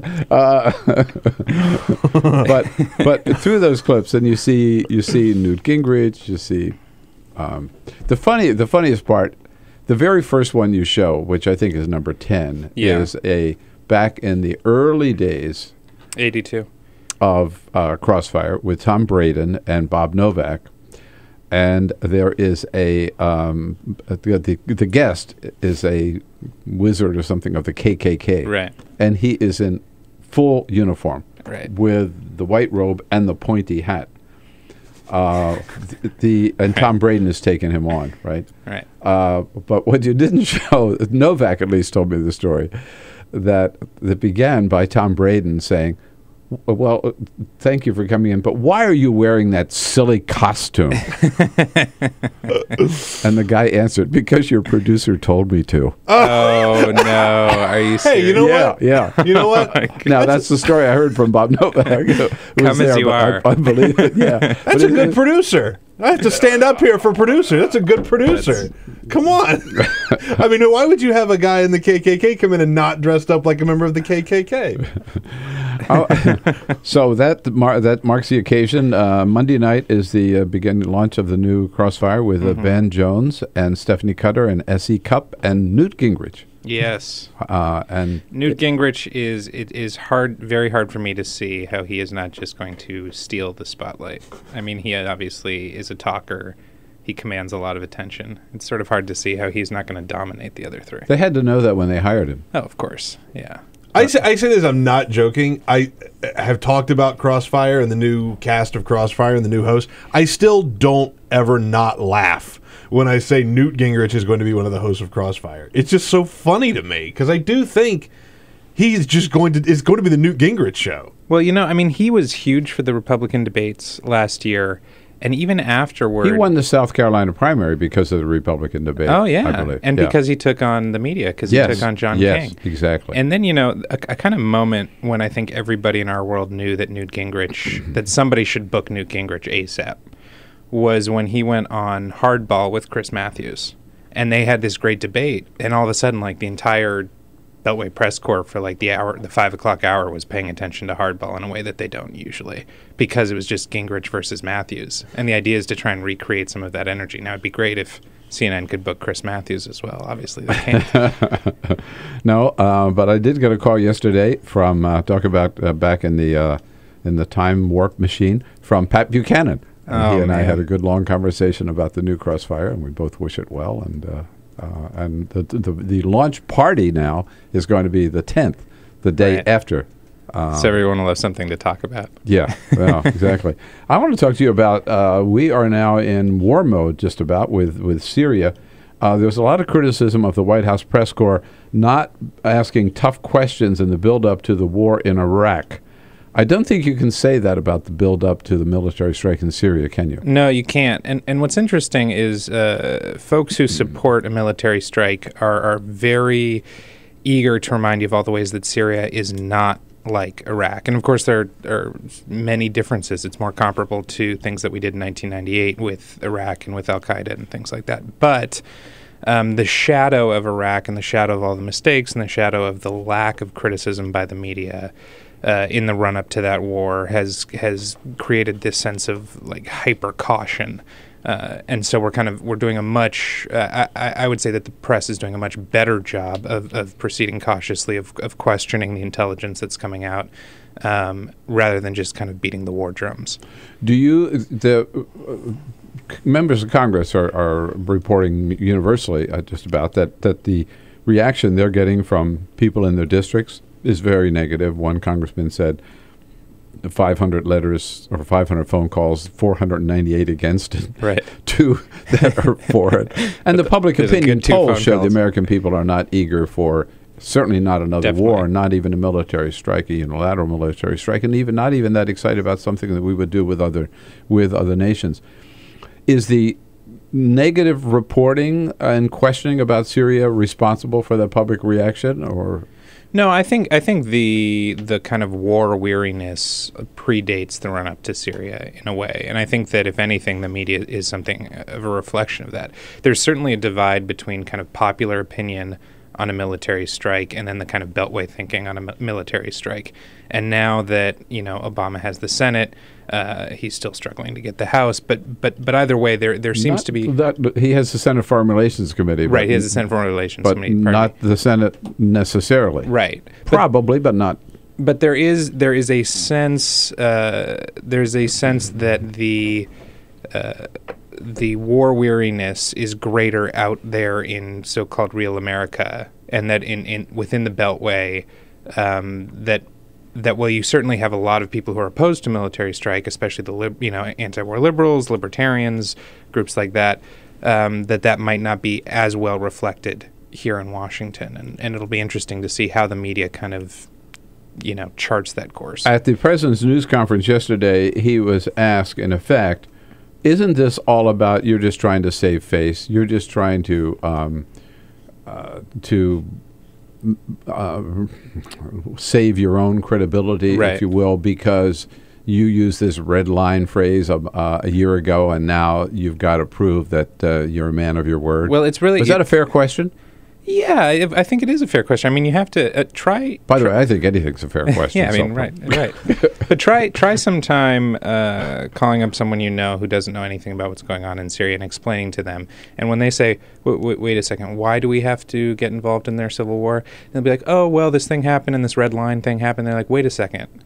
We're doing this because he said something. And now you see that the administration is trying to kind of disown this a little bit. You know, I didn't set the red line. The world set the red line. Well, you know, in a way, there, there in, in a manner of speaking, that's true. But at the same time, there's kind of this like, you know, don't put this on my shoulders. Let's put this on everybody's shoulders, which is the same reason he took it to Congress. Yeah, well, then we talked about it a little bit ear- earlier. I mean, it's true the world set the red line, but it's also true that he used the phrase "the red line." That for us would be a red line. Who Uh, is us? Us is the United States, and you are the buck stops with you, and that's Uh, and he did that uh, um, a uh, a year ago, year Right. ago in July, I believe it Yeah. was. Uh, and finally, before we go to a break here, so the president you just mentioned uh, has has uh, has has gone to Congress. Um, it's interesting to me to see a lot of people who who were lining up saying, "We want to vote. We want to vote. Come on, he can't do this on his own." Now they're saying, "Oh my God, we have to vote." yeah, I know. uh, that's amazing little switch that happened there. No kidding.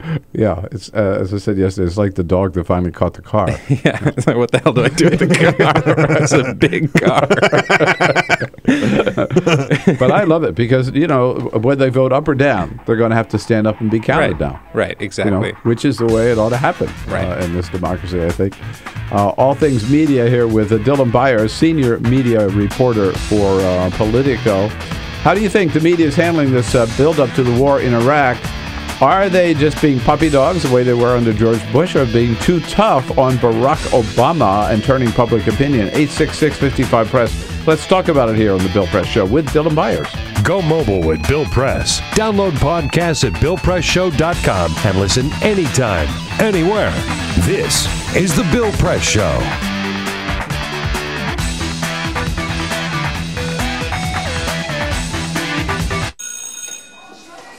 Don't look at me.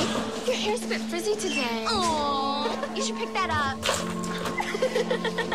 oh, you're such a dork, loser. Here, let me help you with that. Oops. Every day, kids witness bullying. oh, look. Your crush is looking at you. Poor you. They want to help, but don't know how. See, no one here's gonna help you, because no one Teach likes your you. kids how to be more than a bystander. Visit stopbullying.gov. If you drive buzzed, it could cost you around $10,000. You'll face major legal fees, major fines, and steep insurance penalties. You could lose everything. Nothing kills a buzz like getting pulled over for buzz driving, because buzz driving is drunk driving. When some people struggle with their mortgage payments, they become frozen, petrified. Not knowing what to do, they do nothing. But the people who take action are far more likely to get the most positive outcome. Making home affordable is a free government program. Call now to talk one on one with a housing expert about the options that are right for you. Real help, real answers, right now. Here at the GED Pep Talk Center, we have pep talkers standing by to get you motivated for your GED diploma. Text the name Terry to 69222 for a sympathetic pep talk. You show people what you really are. Or for a gentle pep talk, text the name Deborah. You know you're going to make people very proud of you. And if that's not enough, text the name Danny for an extreme pep talk. Prove everyone wrong. Show them you're the boss. Get your GED pep talk and find free GED classes. Text the name of the person you want a pep talk from to 69222.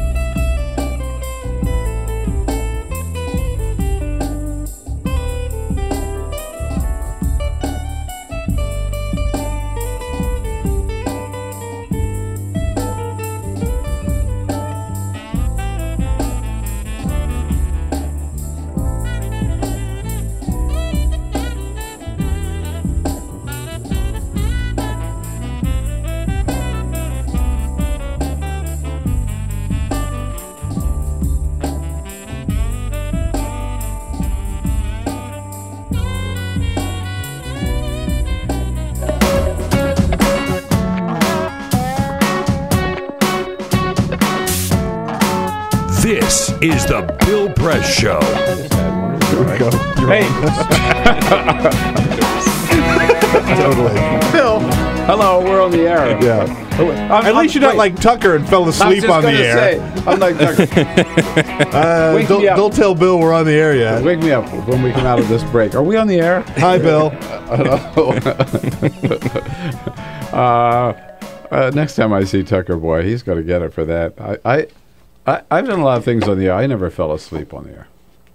I mean, do you know anybody? Sometime else- I'm going to come in here and fall asleep on the air. yeah, yeah, yeah, yeah, it's yeah. gonna happen. You know, do you know any, happen. anybody else that this that has ever happened to? I I worked with a guy because you know back in the in the day what they used to do is they used to send especially with sports radio is they used to send these guys out with mm-hmm. these little units that they could dial into the station from their hotel room. So they travel with the team and they Oh, dial yeah. in from their hotel room and they just be on a phone line and it sounded Yeah, better than a regular phone. And there would be these guys who you know were traveling with sports teams and you know that they're on the road, they're out late and they'd be on and you'd go to them and nothing. And they'd just be fast asleep or doing the show in their bed and they take a long break and there's nobody there to wake them up. But And here's just the only thing. I would hope that, unlike the his co-hosts on Fox and Friends, that if I were ever to fall asleep, They'd that- wake you up. that, yeah, my co-hosts or my friends would wake me up rather than those, what those guys say. I got news for you. Don't tell anybody. Tucker's asleep. Now, that was- Fat chance. We're going to leave you asleep until we come back. you got a story there? I do have a story. You remember George Zimmerman, don't you? George Zimmerman, the man who was acquitted of shooting Trayvon Martin, he in the days after the the trial, The he was busted. shot and killed Trayvon Martin. I Yeah. remember him. He was busted for speeding in Texas. Yeah, n- right. Well, turns out on Tuesday he was busted for speeding again in Florida. Tuesday morning, 10:30 a.m. Uh, he was busted again for speeding in Lake Mary, Florida, which is near Orlando. So he's going 60 miles per hour in a 45 mile per hour zone. I, I have a feeling some bad things are going to happen to this guy, George Yeah. Zimmerman. Yeah, you know what I mean? So, um, uh, uh, Dylan, in the world of media, how's Al Jazeera America doing? What do you hear? It's a great question. So here, let me tell you a story about Al Jazeera America, which will sum up roughly how, how they're doing so far. Uh, on the day that they launched, I was ready to uh, engage for 24 hours watching the program to do a kind of summary of the entire show. Um, 24 24 hours? hours just to see what they were all about. So I I'm at the office. I'm going to start it. They launch at 3 p.m. Eastern time, and they're not on. We don't get them at the office. So I decide I'm going to come home. So I head home to turn them on, and I've got a pretty good cable package. And yet, lo and Mhm. behold, I can't find them there either. So that is the problem that Al Jazeera America is facing. Their ratings, you know, like uh, uh, against current uh, TV, which they bought, they're doing. Um, they're actually they're actually like putting some numbers up on the board that that that gets them to that level. But they need to do a lot more, and they also just need to expand their reach in terms of uh, of, of who actually has the ability to watch them. Uh, that was, of course, a problem for current TV. Right. Uh, I mean, I spent half my time when we were on current TV telling people, "Oh, here's what current TV is. That's that network that Al Gore started. Remember." And here's how you find it. Right. Right. People didn't know either it existed or how to find it. You at least have for the people who actually know you exist, you at least have to be available to them. And so Al Jazeera is going to have to find a way to kind of expand. But they expand are doing. reach. They're doing. Seem to be doing uh, an, a, a credible amount of promotion and They're doing they're doing great promotion. You see their ads everywhere. Yeah, you see yeah. it in magazines. You see it on the sides of buses. You see it um, places like that. But but you know what, what really gets these things rolling is getting people talking about it. And you know I've I've gone back and I've watched some of their you know watched some of their work online and like it's it's it's great. They're doing some great reporting. They're doing exactly what they promised. They're doing boots on the ground reporting from all over the country. Uh, but they need you know they they, they need to get people talking about them, and nobody's going to start talking about them until they land something big or, or until they get more carry. MSNBC did a big switcheroo uh, recently, brought Ed uh, Schultz back from weekends where they had exiled him, uh, Right. putting him in at 5 o'clock and bouncing uh, Chris Matthews, who used to be live at 5 and taped at 7, to live uh, at 7. Right. It's too early to tell whether this is working? Yeah, I think it is. I think Or one, do you think it was a good move? I think one thing I know is that uh, when Ed Schultz was banished to the weekend, the idea was okay, MSNBC is clearing the path for a newer, younger generation of wonky brown graduate types like you know Chris Hayes and Rachel Maddow. Maddow. Yeah. um, And Al Sharpton. And I and, and I think you know okay, well that kind of you know you need cable. It needs a younger audience. That's the only way that they're going to succeed. Uh, and yet I get all of these emails from uh, what I would call you know kind of blue collar liberals who are saying like, hey, where where's the hell is the union voice? Where is that like you know I, Mhm. we loved Ed. Um, and you know Chris did not do what Chris Hayes did not do well uh, in the 8 p.m. hour, and then all of a sudden it kind of made more sense bringing back. Also, by moving Chris Matthews to one hour, the the hope is that you kind of move all of his ratings into one hour and you boost him. Uh, Which will time. in turn boost Chris Which will Hayes. in turn boost Yeah. Chris Hayes, and then and then that'll go into Maddow, who's their who's their biggest name. Um, and meanwhile, you know, f- you know, five o'clock. You know, if Ed if Ed's audience wants to find him at five o'clock, they will. hmm Yeah. Seems to be working so far. Yeah. Uh, I think it was a good move. I think it's a great move to have Ed back on uh, five days a week. I mean, he does speak to a uh, a blue collar that is otherwise you know, unrepresented Otherwise unrepresented at MSNBC. Certainly on MSNBC. Yeah. Dylan Byers, we're just getting started, but we're out of time. Thanks for coming in, man. My All pleasure, man. Anytime. Uh, uh, love reading you at politico.com. And check out the new uh, the 10 best moments of Crossfire.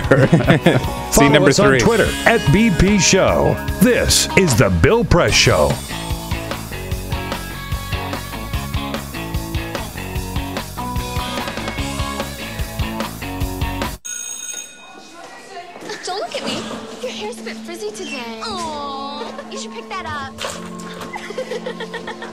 You're such a dork, loser. Here, let me help you with that. Oops. Every day, kids witness bullying. oh, look. Your crush is looking at you. Poor you. They want to help, but don't know how. See, no one here's gonna help you because no one Teach likes your you. kids how to be more than a bystander. Visit stopbullying.gov. If you drive buzzed, it could cost you around $10,000. You'll face major legal fees, major fines, and steep insurance penalties. You could lose everything. Nothing kills a buzz like getting pulled over for buzz driving, because buzz driving is drunk driving. When some people struggle with their mortgage payments, they become frozen, petrified. Not knowing what to do, they do nothing. But the people who take action are far more likely to get the most positive outcome. Making Home Affordable is a free government program. Call now to talk one on one with a housing expert about the options that are right for you. Real help, real answers, right now. Here at the GED Pep Talk Center, we have pep talkers standing by to get you motivated for your GED diploma. Text the name Terry to 69222 for a sympathetic pep talk. You show people what you really are. Or for a gentle pep talk, text the name Deborah. You know you're going to make people very proud of you. And if that's not enough, text the name Danny for an extreme pep talk. Prove everyone wrong. Show them you're the boss. Get your GED pep talk and find free GED classes. Text the name of the person you want a pep talk from to 69222.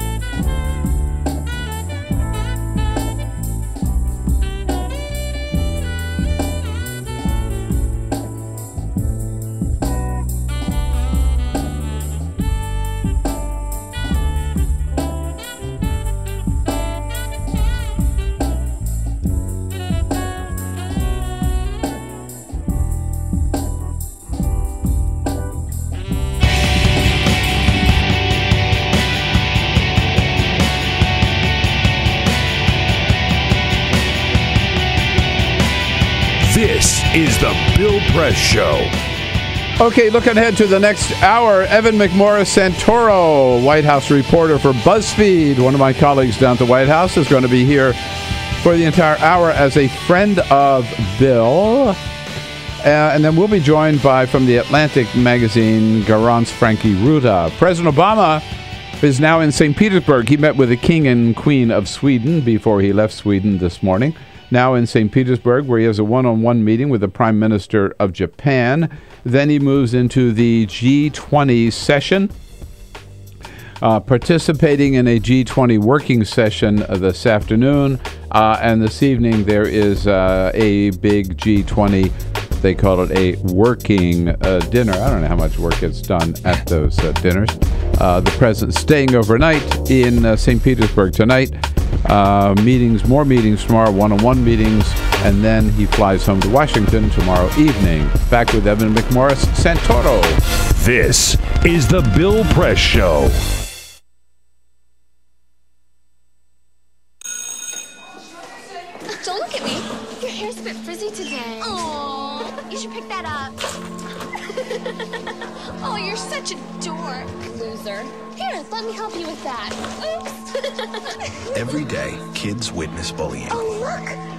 Look. Your looking at you. Poor you. They want to help, but don't know how. See, no one here's gonna help you, because no one Teach likes your you. kids how to be more than a bystander. Visit stopbullying.gov. If you drive buzzed, it could cost you around $10,000. You'll face major legal fees, major fines, and steep insurance penalties. You could lose everything. Nothing kills a buzz like getting pulled over for buzz driving, because buzz driving is drunk driving.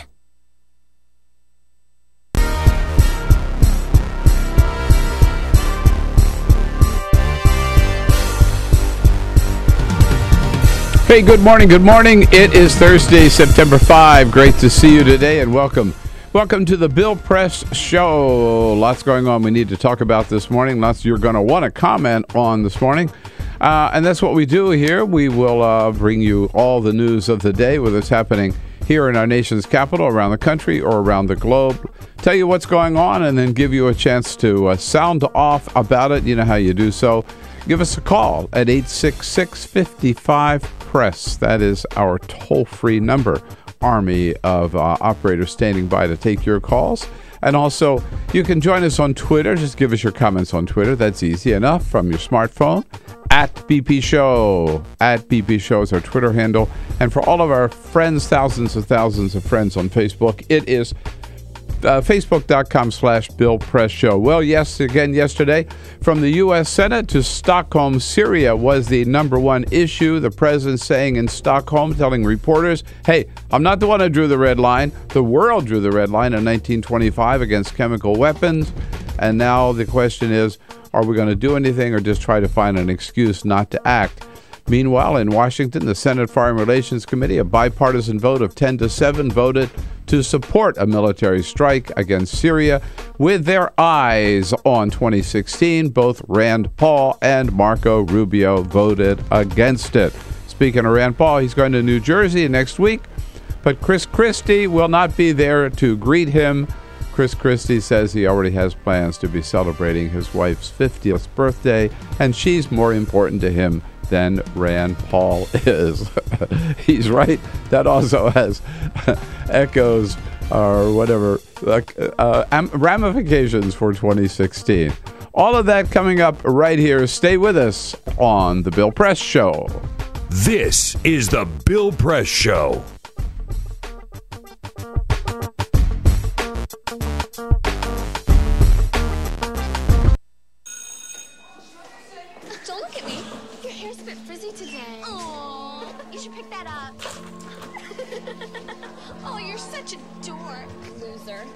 Let me help you with that.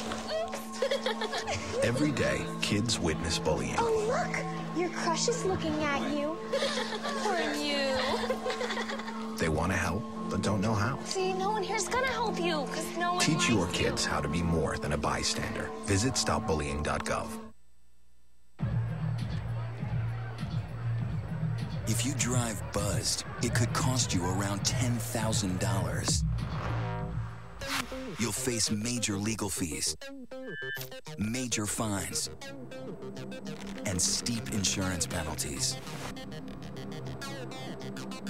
You could lose everything. Nothing kills a buzz like getting pulled over for buzz driving, because buzz driving is drunk driving. When some people struggle with their mortgage payments, they become frozen, petrified. Not knowing what to do, they do nothing.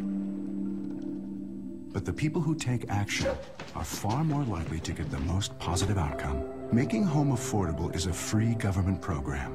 Call now to talk one-on-one with a housing expert about the options that are right for you. Real help, real answers, right now. Here at the GED Pep Talk Center, we have pep talkers standing by to get you motivated for your GED diploma. Text the name Terry to 69222 for a sympathetic pep talk. You show people what you really are. Or for a gentle pep talk, text the name Deborah. You know, you're going to make people very proud of you. And if that's not enough, text the name Danny for an extreme pep talk. Prove everyone wrong. Show them you're the boss. Get your GED pep talk and find free GED classes. Text the name of the person you want a pep talk from to 69222.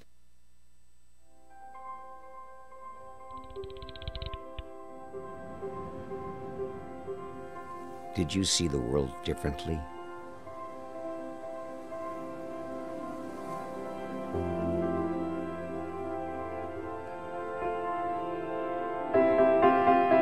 Did you celebrate the victory?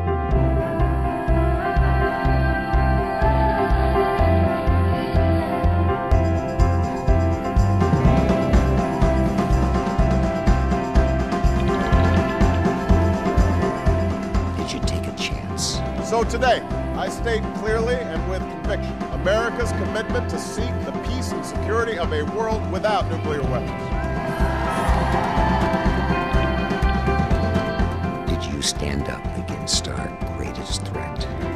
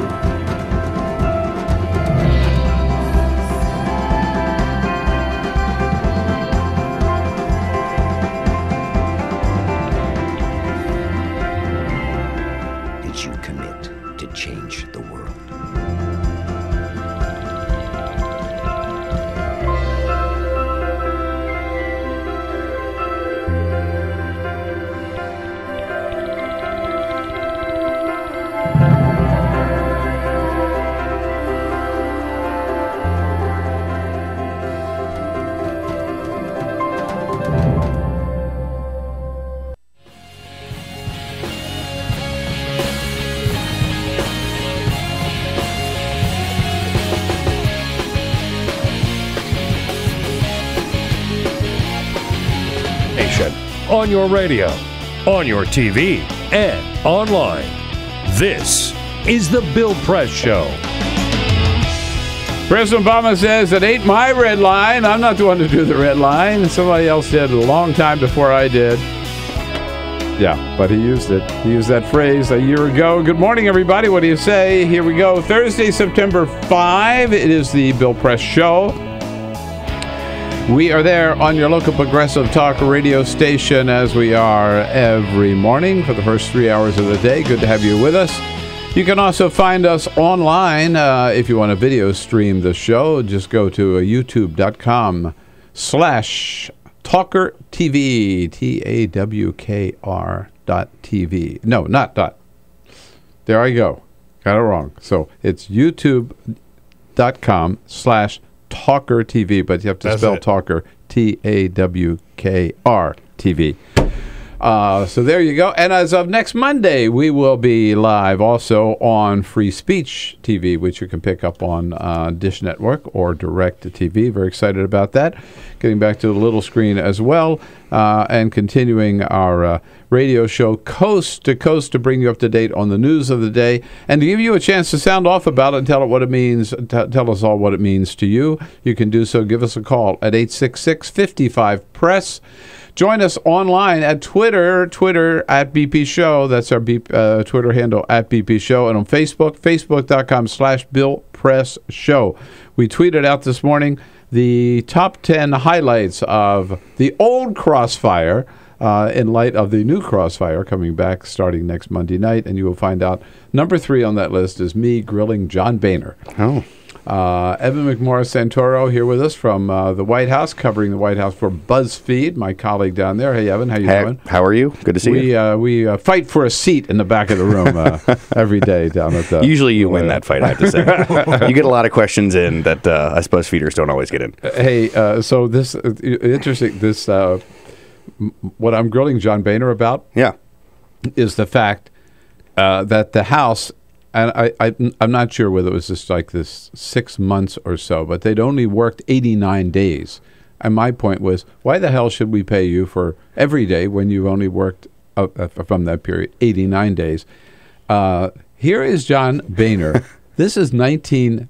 Evan, 1998. Listen to this. Why should we pay you for more than 89 when you're only working Well, 89? 89 days here in Washington, but as you know, we've got constituents at home. We've got issues in our district that we need to deal with. And the fact is, this is classic Washington thinking. That if we're not passing some new big government program or, or issuing new regulations getting into the pockets of our constituents, then we're not working. Now, he said the same thing like two weeks ago, right? Yeah, I mean, you know, the funny thing about this is that could be a you know a Tea Party platform plank now, couldn't it? Right? Yeah. I Yeah, mean, you were way ahead of the curve on that idea. I think Don't pay them for when they're not working. pay them hourly. You know, uh, and Boehner was given the same old BS back then that he did this year. Say, don't don't judge us by how many bills we passed, by how many bills we repeat. That's awesome. it is indeed.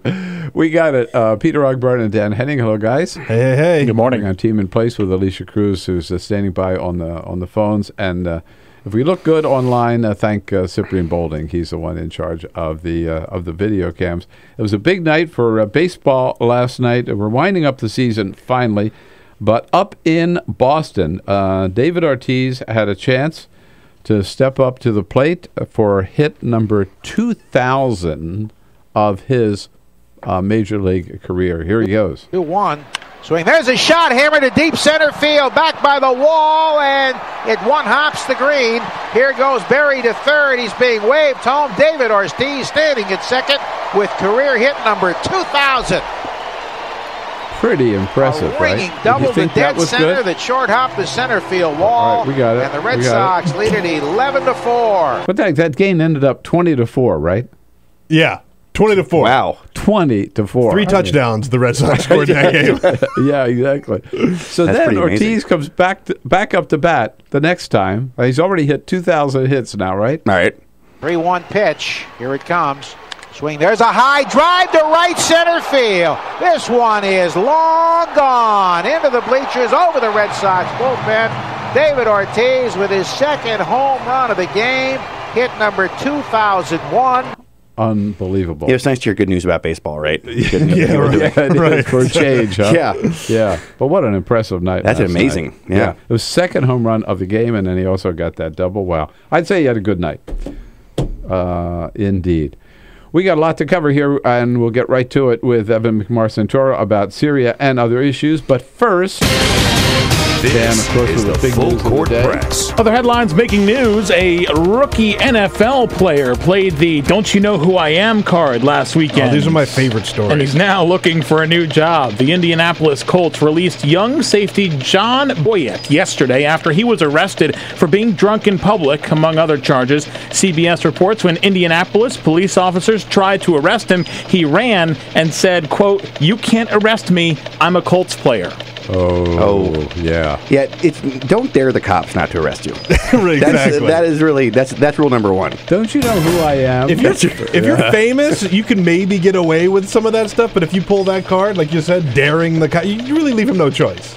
Shaquille O'Neal is taking some heat for signing on to promote Michelle Obama's Let's Move campaign. The Center for Science and the Public Interest says the former NBA star can't have it both ways. He started his Soda Shaq cream soda drink line earlier this year, and he, they say he can't do a photo op with the First Lady one Oh. day and then sell his disease promoting Oh, sodas the next. Each 23 ounce Soda Shaq can has 270 calories, 17 teaspoons of sugar.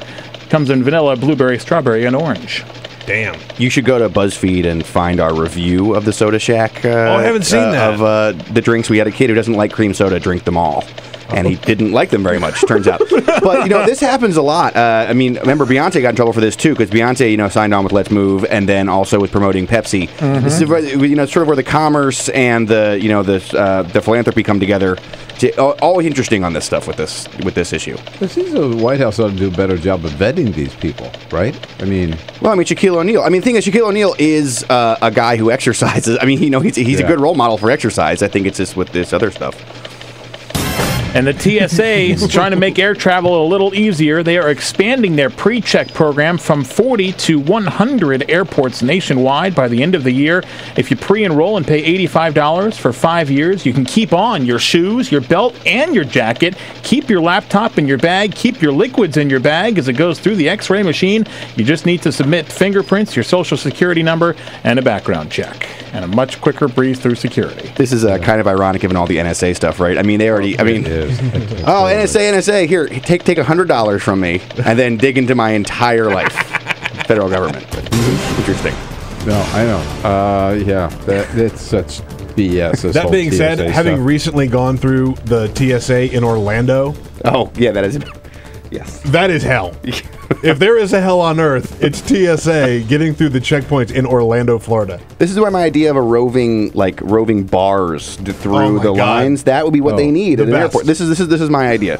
yeah, Another free Oh, I see. idea? Mm-hmm. So you go from genius. one, you just go from one bar to the next. Yeah, as like you're well, waiting the, in well it's like TSA on line. wheels. Like Yeah. like it, Oh, it no, rides right. around in the it Yeah. rides around the line, and you're because you're waiting there for forever. Yeah. How much nicer would it be if you had like a nice like a pina colada? It'd be great. Hanging out. Genius. That You know what? It is. You could also make a lot of money that way. Damn too. right. Yeah. Damn right. That's copyrighted. Yeah. Just have the beer Yeah. man go through me. like at a ball game. Yeah. Beer man, beer man. Exactly. A uh, bit of qui- kind of a quiet week at the White House this week. We haven't had many briefings at all. Not one. No, we haven't had many briefings. No, but I wouldn't say it was. Well, right from from that respect. So the White House, I mean, obviously they're on the, the, the full court press, right? I mean, trying to sell uh, this military strike in Syria. How do you think they're doing so far? Well, uh, you know, the audience that they're trying to sell to is really, they really have two audiences right now. They need to sell this to the American people and they need to sell this to the Congress. And based on the reporting out of Congress uh, from my colleague Kate Nocera and John Stanton, our, uh, our, our Kate, Hill who was, uh, reporters, Kate, who was in yesterday, friend of the show. Yeah, yeah, yeah, yeah. Uh, before yesterday. It isn't going fantastically well in Congress. Uh, and based on what we've seen from polling, it isn't going fantastically well with the American people either. So, um, you know, I think that this is, is, is a fascinating issue because the president has done something that I think was part of his sort of original idea when he ran for president, this sort of taking away some of the executive powers, going back to Congress a bit. He's done it. He, he got some praise for it pretty much universally.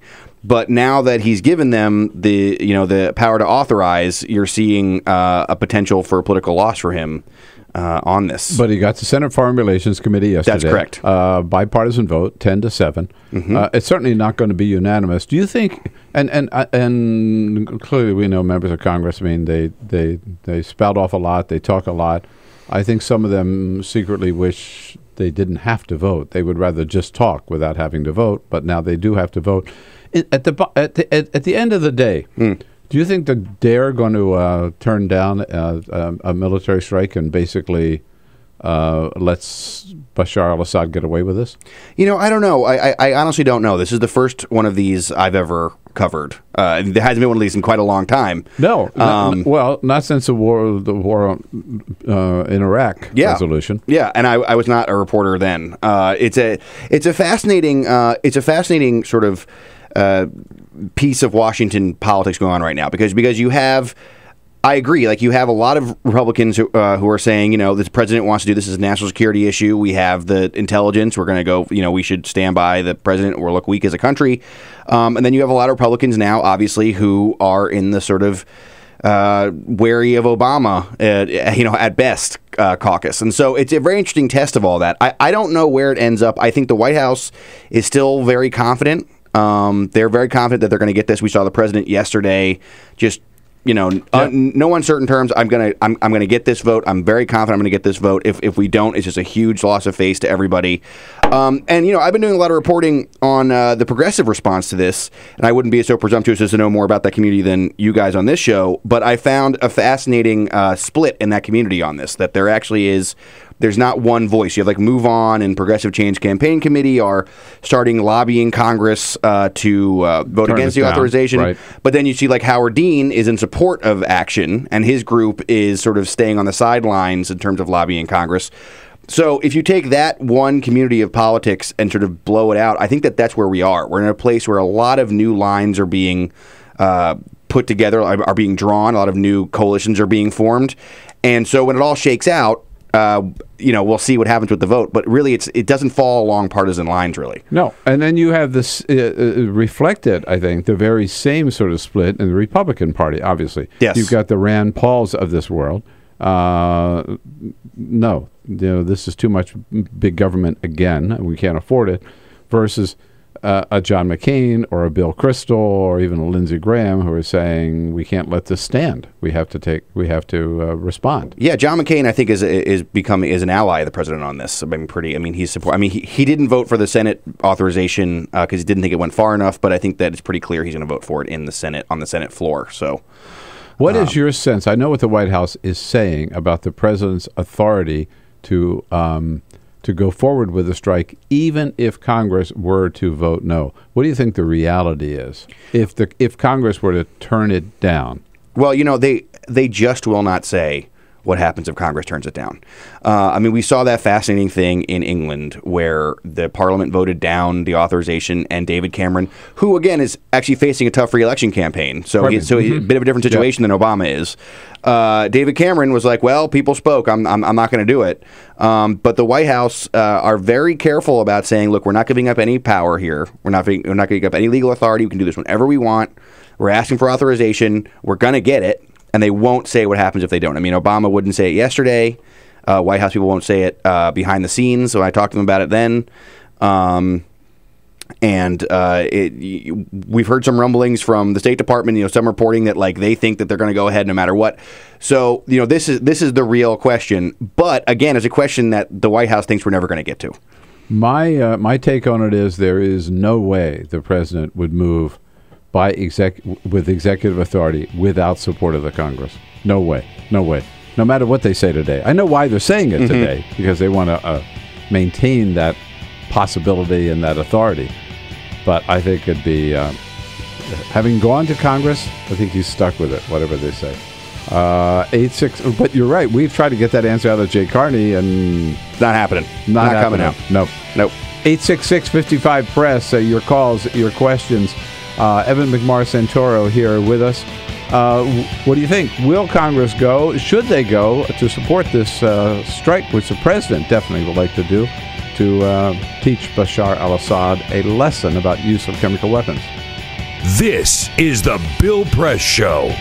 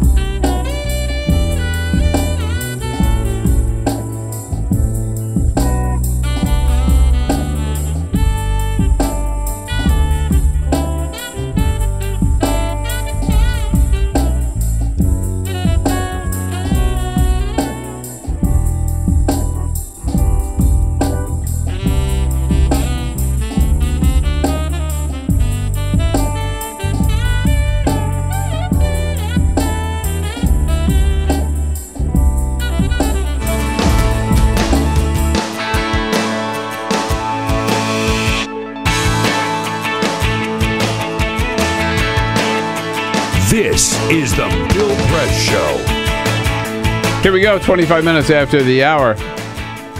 We're talking with Evan McMorris Santoro here in studio. Is a friend of Bill this hour, uh, a good friend from the White House, uh, covers the White House for BuzzFeed at uh, BuzzFeed.com. Uh, just go to news, go to politics. You'll find Evan McMorris Santoro. He's always stirring things up.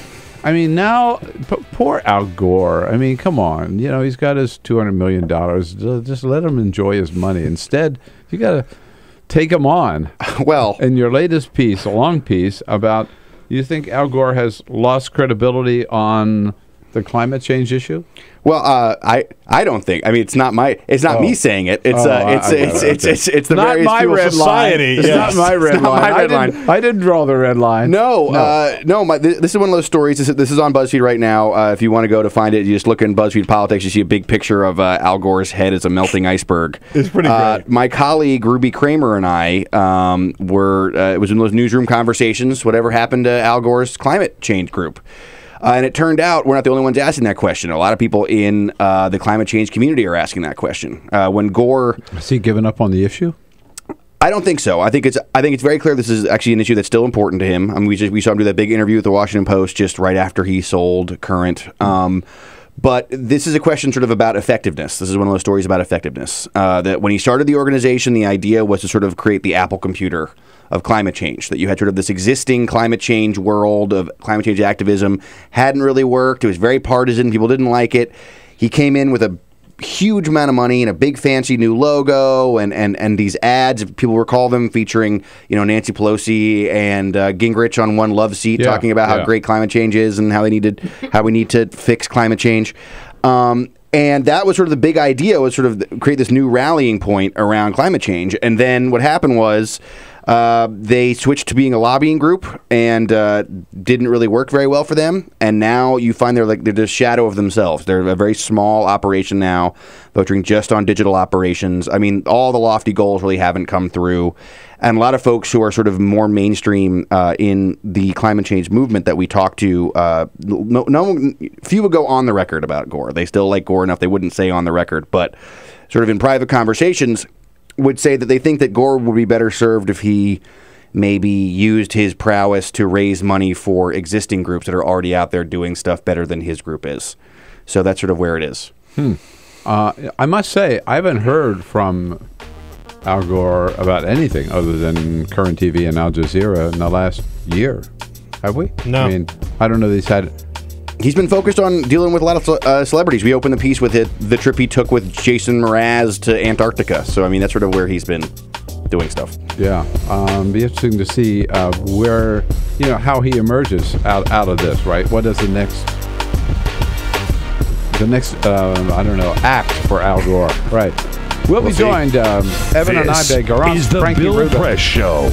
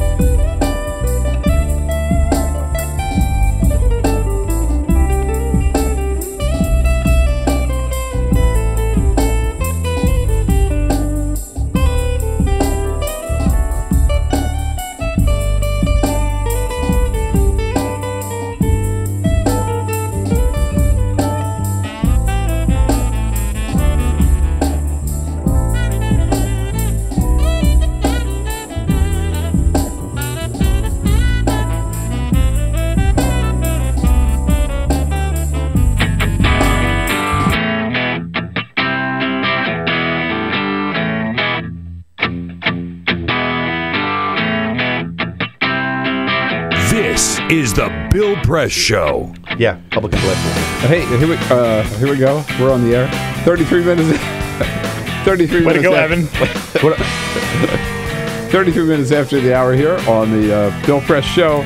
This Thursday morning, uh, September five. Great to see you today. Thank you for joining us. We're coming to you live from our nation's capital, our studio in Capitol Hill, brought to you today by the International Association of Machinists, the good men and women of the Machinist Union, you bet.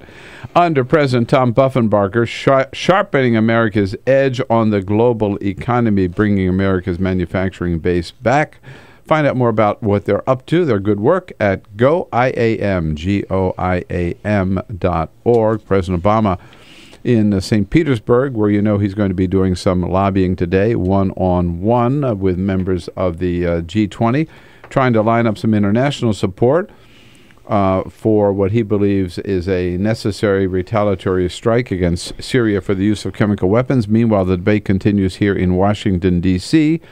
Evan McMorris Santoro, uh, we've got it covered here, both ends of Pennsylvania Avenue this half hour. Evan McMorris Santoro covering the White House for BuzzFeed. Here is a friend of Bill, Evan. Uh, talking through breaks as well. Joining us now, yes, uh, from the, who covers the Congress mostly, uh, senior editor for The Atlantic, Garance Franke-Ruta. Hey, Garance, nice to see you. Thanks for having Thanks for on. joining us.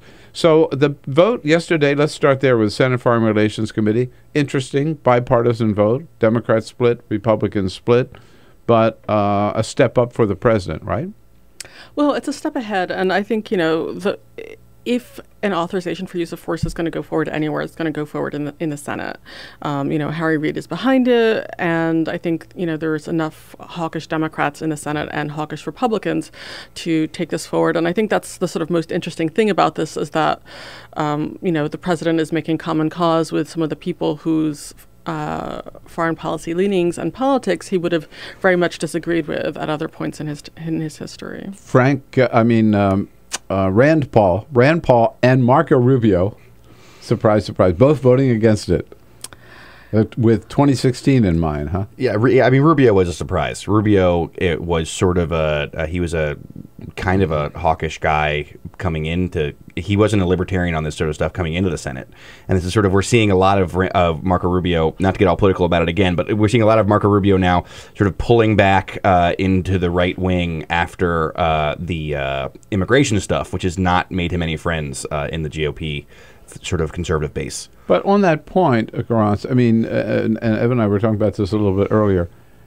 There are all kinds of reasons for supporting a strike or not supporting a strike, but a lot of the talk is political, and a lot of the thinking is political, right? Either how is this going to impact my reelection campaign, or how's it going to impact my chances in 2016, or will this make Barack Obama look good or look bad, or you know, There's a certain amount of that, but I think uh, what you're really also seeing is a reflection of public opinion in the country, which is that this is something that's come out of the blue. There's a war been going on in Syria for two and a half years now. People have not been paying attention to it. A substantial portion of people are undecided as to what they even think. Uh, public opinion is is somewhat flexible. We've seen since even Obama spoke on Saturday a swing of 10 points in his favor amongst Democrats, at least on public opinion in terms of going forward with an intervention.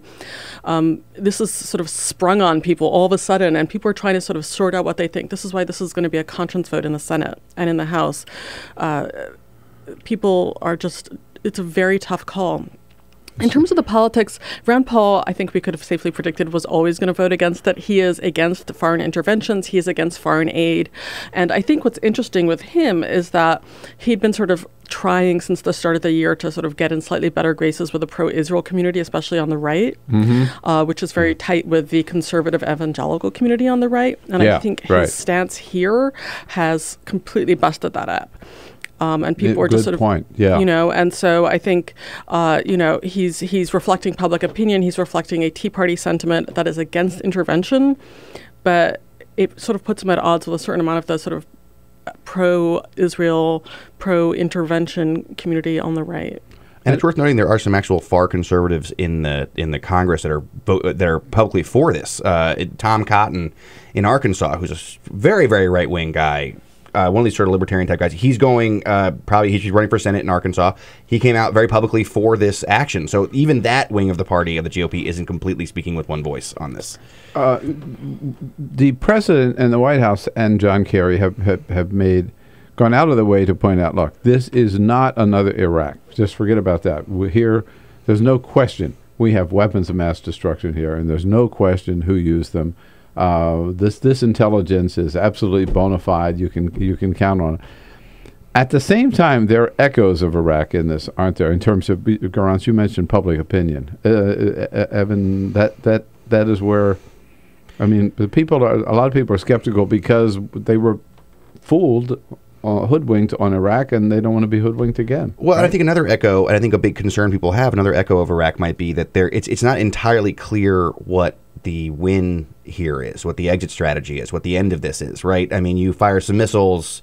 Uh, Assad uses more chemical weapons. What do you do? Fire more missiles? I mean, what you know? Once you sort of step foot the first time and say you're sort of drawing these red lines and standing up for uh, you know specific ideas and, pre- and, preventing things from happening, um, it's hard to figure out sort of where that ends all the time. I think people are concerned about that. The Obama administration's made it very clear they want a limited thing. They do want to get rid of Assad, but they only want to do that with diplomatic stuff. They don't want to mm-hmm. do you know use forces to get rid of that. But I think that that is where some of the concern is, is this sort of this idea of this uh, just sort of, you know, escalating and escalating and escalating. Once you, you know, get the ball rolling, the ball is rolling. There is a war weariness, isn't there?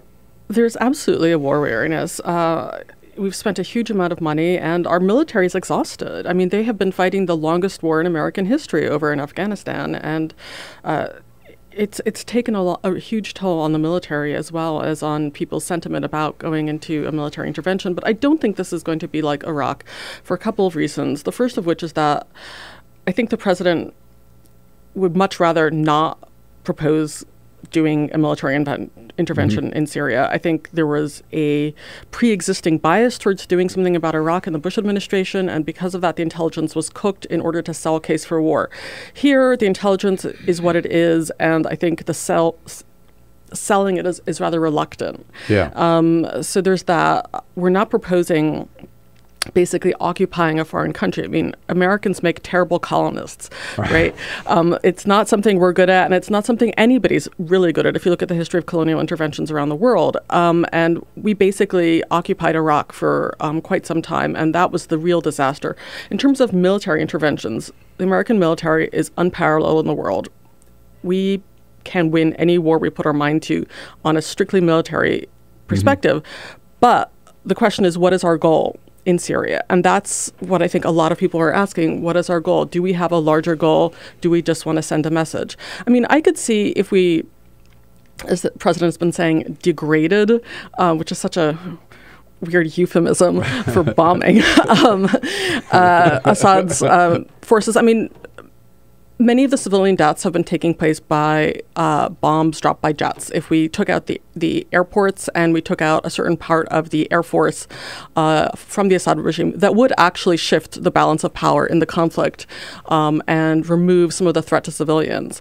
There's a broader question of, you know, what do you do to try and humanize this war a little bit on either side? There's also a lot of reports of um, the slaughter of prisoners of war on the uh, anti-Assad forces is the front page story today in the New York Times, and you know that's also a violation of the rules of war. You're not supposed to kill your prisoners, and so there's there's a lot of bad stuff happening there. Um, that, yeah, I mean it's it's less and less a case of the white hats versus the black hats.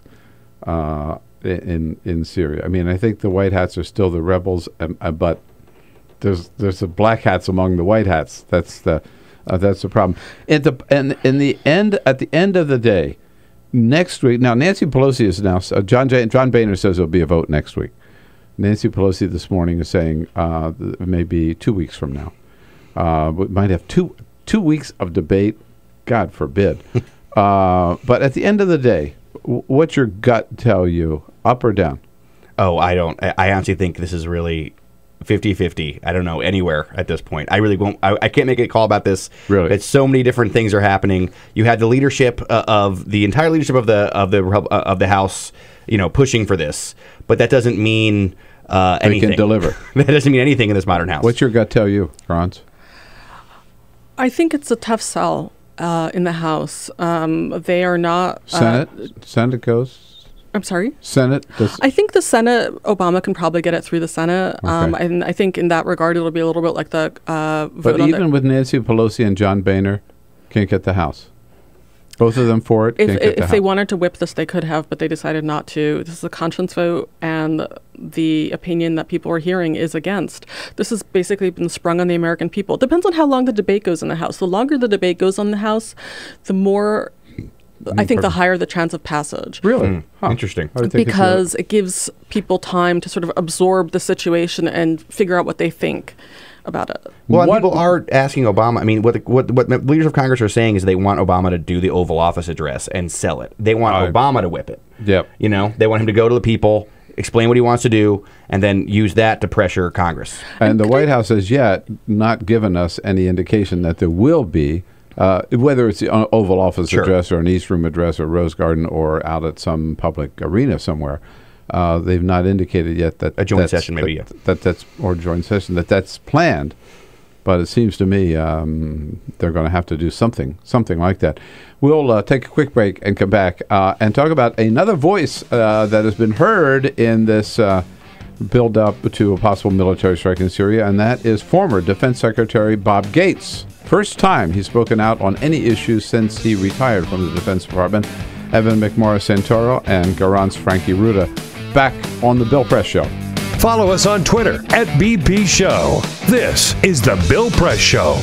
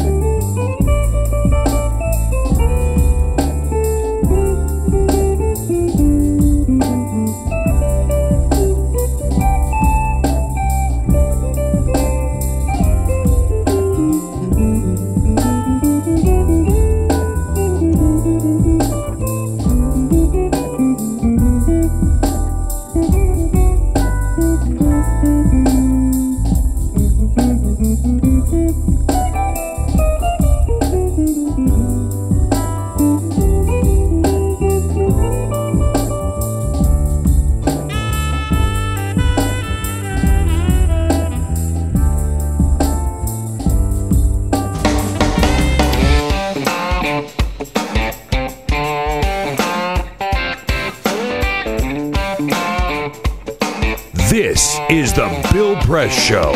Here we go, 12 minutes now before the top of the hour. Uh, in studio with us from the Atlantic, senior editor Garance Franke-Ruta, and here is a friend of Bill this entire hour. You tired of him yet? I hope not. White House reporter from BuzzFeed, Evan McMorris Santoro. I think we know where you come down on that question. yeah, no. All right. We love having you in here as a friend of Bill. So I mentioned uh, Bob Gates, former defense secretary, uh, putting out a statement this morning saying, in part, I strongly urge the Congress, both Democrats and Republicans, to support the president's request for authorization to use force in Syria. He's pretty well respected on both sides of the aisle. Evan. Served uh, in both the Bush administration and the Obama administration. I mean, this is a this is a very powerful sort of bipartisan voice on this. So, in, to the extent that people are looking for any other voices, you know, it's well, gee, if he's for it, then I got to think and, it through. And, and It'll- Nicholas Kristof, the New York Times today, came out in favor of intervention as So- well. so- And so, uh, there you go, uh, left yeah, and right. Yeah. I know. This is this is the ultimate strange bedfellows com- uh, division of, of, of opinion. Um, we, you mentioned uh, it was just before the break um, the, the comment that I've heard most often from our listeners and viewers is if we do this, then Bashar Assad might do this, and that's why we can't strike because we can't take that chance. It's a point that Congress uh, Senator um, Chris Murphy from Connecticut made yesterday in the Senate Foreign Relations Committee. Everyone has come to different conclusions. Uh, I simply believe that the risks of action today outweigh the risks of inaction. So if we do this, then he might strike. Uh, Bashar Assad might uh, lob a missile into Syria. I mean, into uh, Israel or into Turkey, or use chemical weapons again. Uh, is that a legitimate argument? Where do you think that goes? You know, it's it's absolutely a concern, but I think one thing that is worth bearing in mind is that Israel's actually conducted four bombing raids inside Syria already without retaliation. Um, they've previously fought a number of conflicts with Hezbollah and have uh, repulsed them rather effectively. Um, and so I think to the extent that the Israeli leadership says, look, we're ready for whatever's coming, um, they've been working on developing a, a missile shield uh, with U.S. Um, assistance. You know, I think uh, if that's the country we're talking about, they seem to feel like they're going to do a solid for the United States government right now and say, look, this is something that we will support. To a certain extent, Evan, you never know what might happen if you take any action That's right. whatsoever. Correct? Well, and this and this, I mean, th- th- this is th- this is the concern I think from a lot of people that are uh, uh, opposed to war is that once you start down the road of war, you're on the road, and then where it ends, you don't really know, right? But uh, Garance made a good point uh, as well about about AIPAC uh, supporting this uh, intervention as well. So, so you have both Israel has already done some action, as you said, and also uh, the Israeli lobby uh, in the United States is pushing for it too. So, And every major Jewish group in the, uh, the the really big ones, the centrist and on the right, have come out in favor of some form of intervention. And even J Street, although they have not endorsed the military intervention, has said, you know, condemned in very harsh terms uh, what's gone on uh, in Syria. Dave is calling uh, one of our uh, listeners out here on AM 760 uh, from Denver, Colorado. Hi, Dave. You have a question or a comment? Thank you. Yes, I do. Uh, I think there are two things that haven't been discussed. Uh huh. One is these aren't surgical strikes or neutralizations or anything else. We are intentionally, with really premeditation, going out and slaughtering thousands of people. I'd like these designers or planners to put a number on the on the number of people we're going to kill and maim, and then two, I'd like them to address the level of really hypocrisy when Israel you, you when Israel used these banned chemical weapons, white phosphorus specifically, in the Gaza Strip when they murdered those people in their concentration camp of the Gaza Strip. All right, we've got your questions. Uh, let's start with the second. I don't know anything about uh, uh, Israel's use of chemical weapons. Um, uh, I'm sure if they had, uh, the, the world would have been as appalled as they are. I mean, th- this is not some some nations can use them and some can't, right? I mean, the idea on chemical weapons is nobody, nowhere, no how, without consequence. Well, they have been used in the past. I mean, Oh, yeah. I mean, Um, Iraq used them, and the United States knew Right. about it. And so, I mean, I mean, but yeah. I mean, Israel will not get a pass, is what I'm saying. Uh, so I, I, I, I, just think the the caller's wrong on that one. How about the surgical strike? There is that's another that's another one of these people. Say, well, if we do this, you know, they're going to move civilians around some of these military targets, and they're they're going to be collateral deaths. No, no way of escaping it. Is that a reason for not going? Or Garance? Uh, if you um, are opposed to it, it's absolutely a reason for not doing it. If you are in support of it, it's part of what comes along with doing a military intervention. And the military certainly knows. I mean, they will try to to to, to, to focus this. Yeah, and it is the case that I think you know we had reports that Assad regime was moving around uh, prisoners, political prisoners, uh, to put them into likely strike, uh, strike American strike. It's not a crazy uh, fear to have. I mean, we've seen this happen before. I mean, in Kosovo, right, we bombed the Chinese embassy. Uh, in Afghanistan, once when we did uh, some uh, cruise missiles, we blew up, I think, a, a medicine factory. Uh, I mean, this is a messy thing to do. War is a messy thing to do. So, I mean, Garance is entirely right. If you support this, then you understand that sort of like this collateral damage is, is part of the par- part of the deal. But it really has happened with American weapons, and it has uh, led to the wrong people being killed. You know, it seems like uh, we've already been talking about it forever, and yet we're really just getting started, uh, aren't we? Yeah, I'd and we're we're done. We're out of time. Oh, we Sorry. are? Uh, yeah, save that thought because we want to get you both back here again soon. Evan McMorris and Jericho runs Franke-Ruta. Thank you so much for coming in. I have a parting, This is the coming up. Bill Press Show.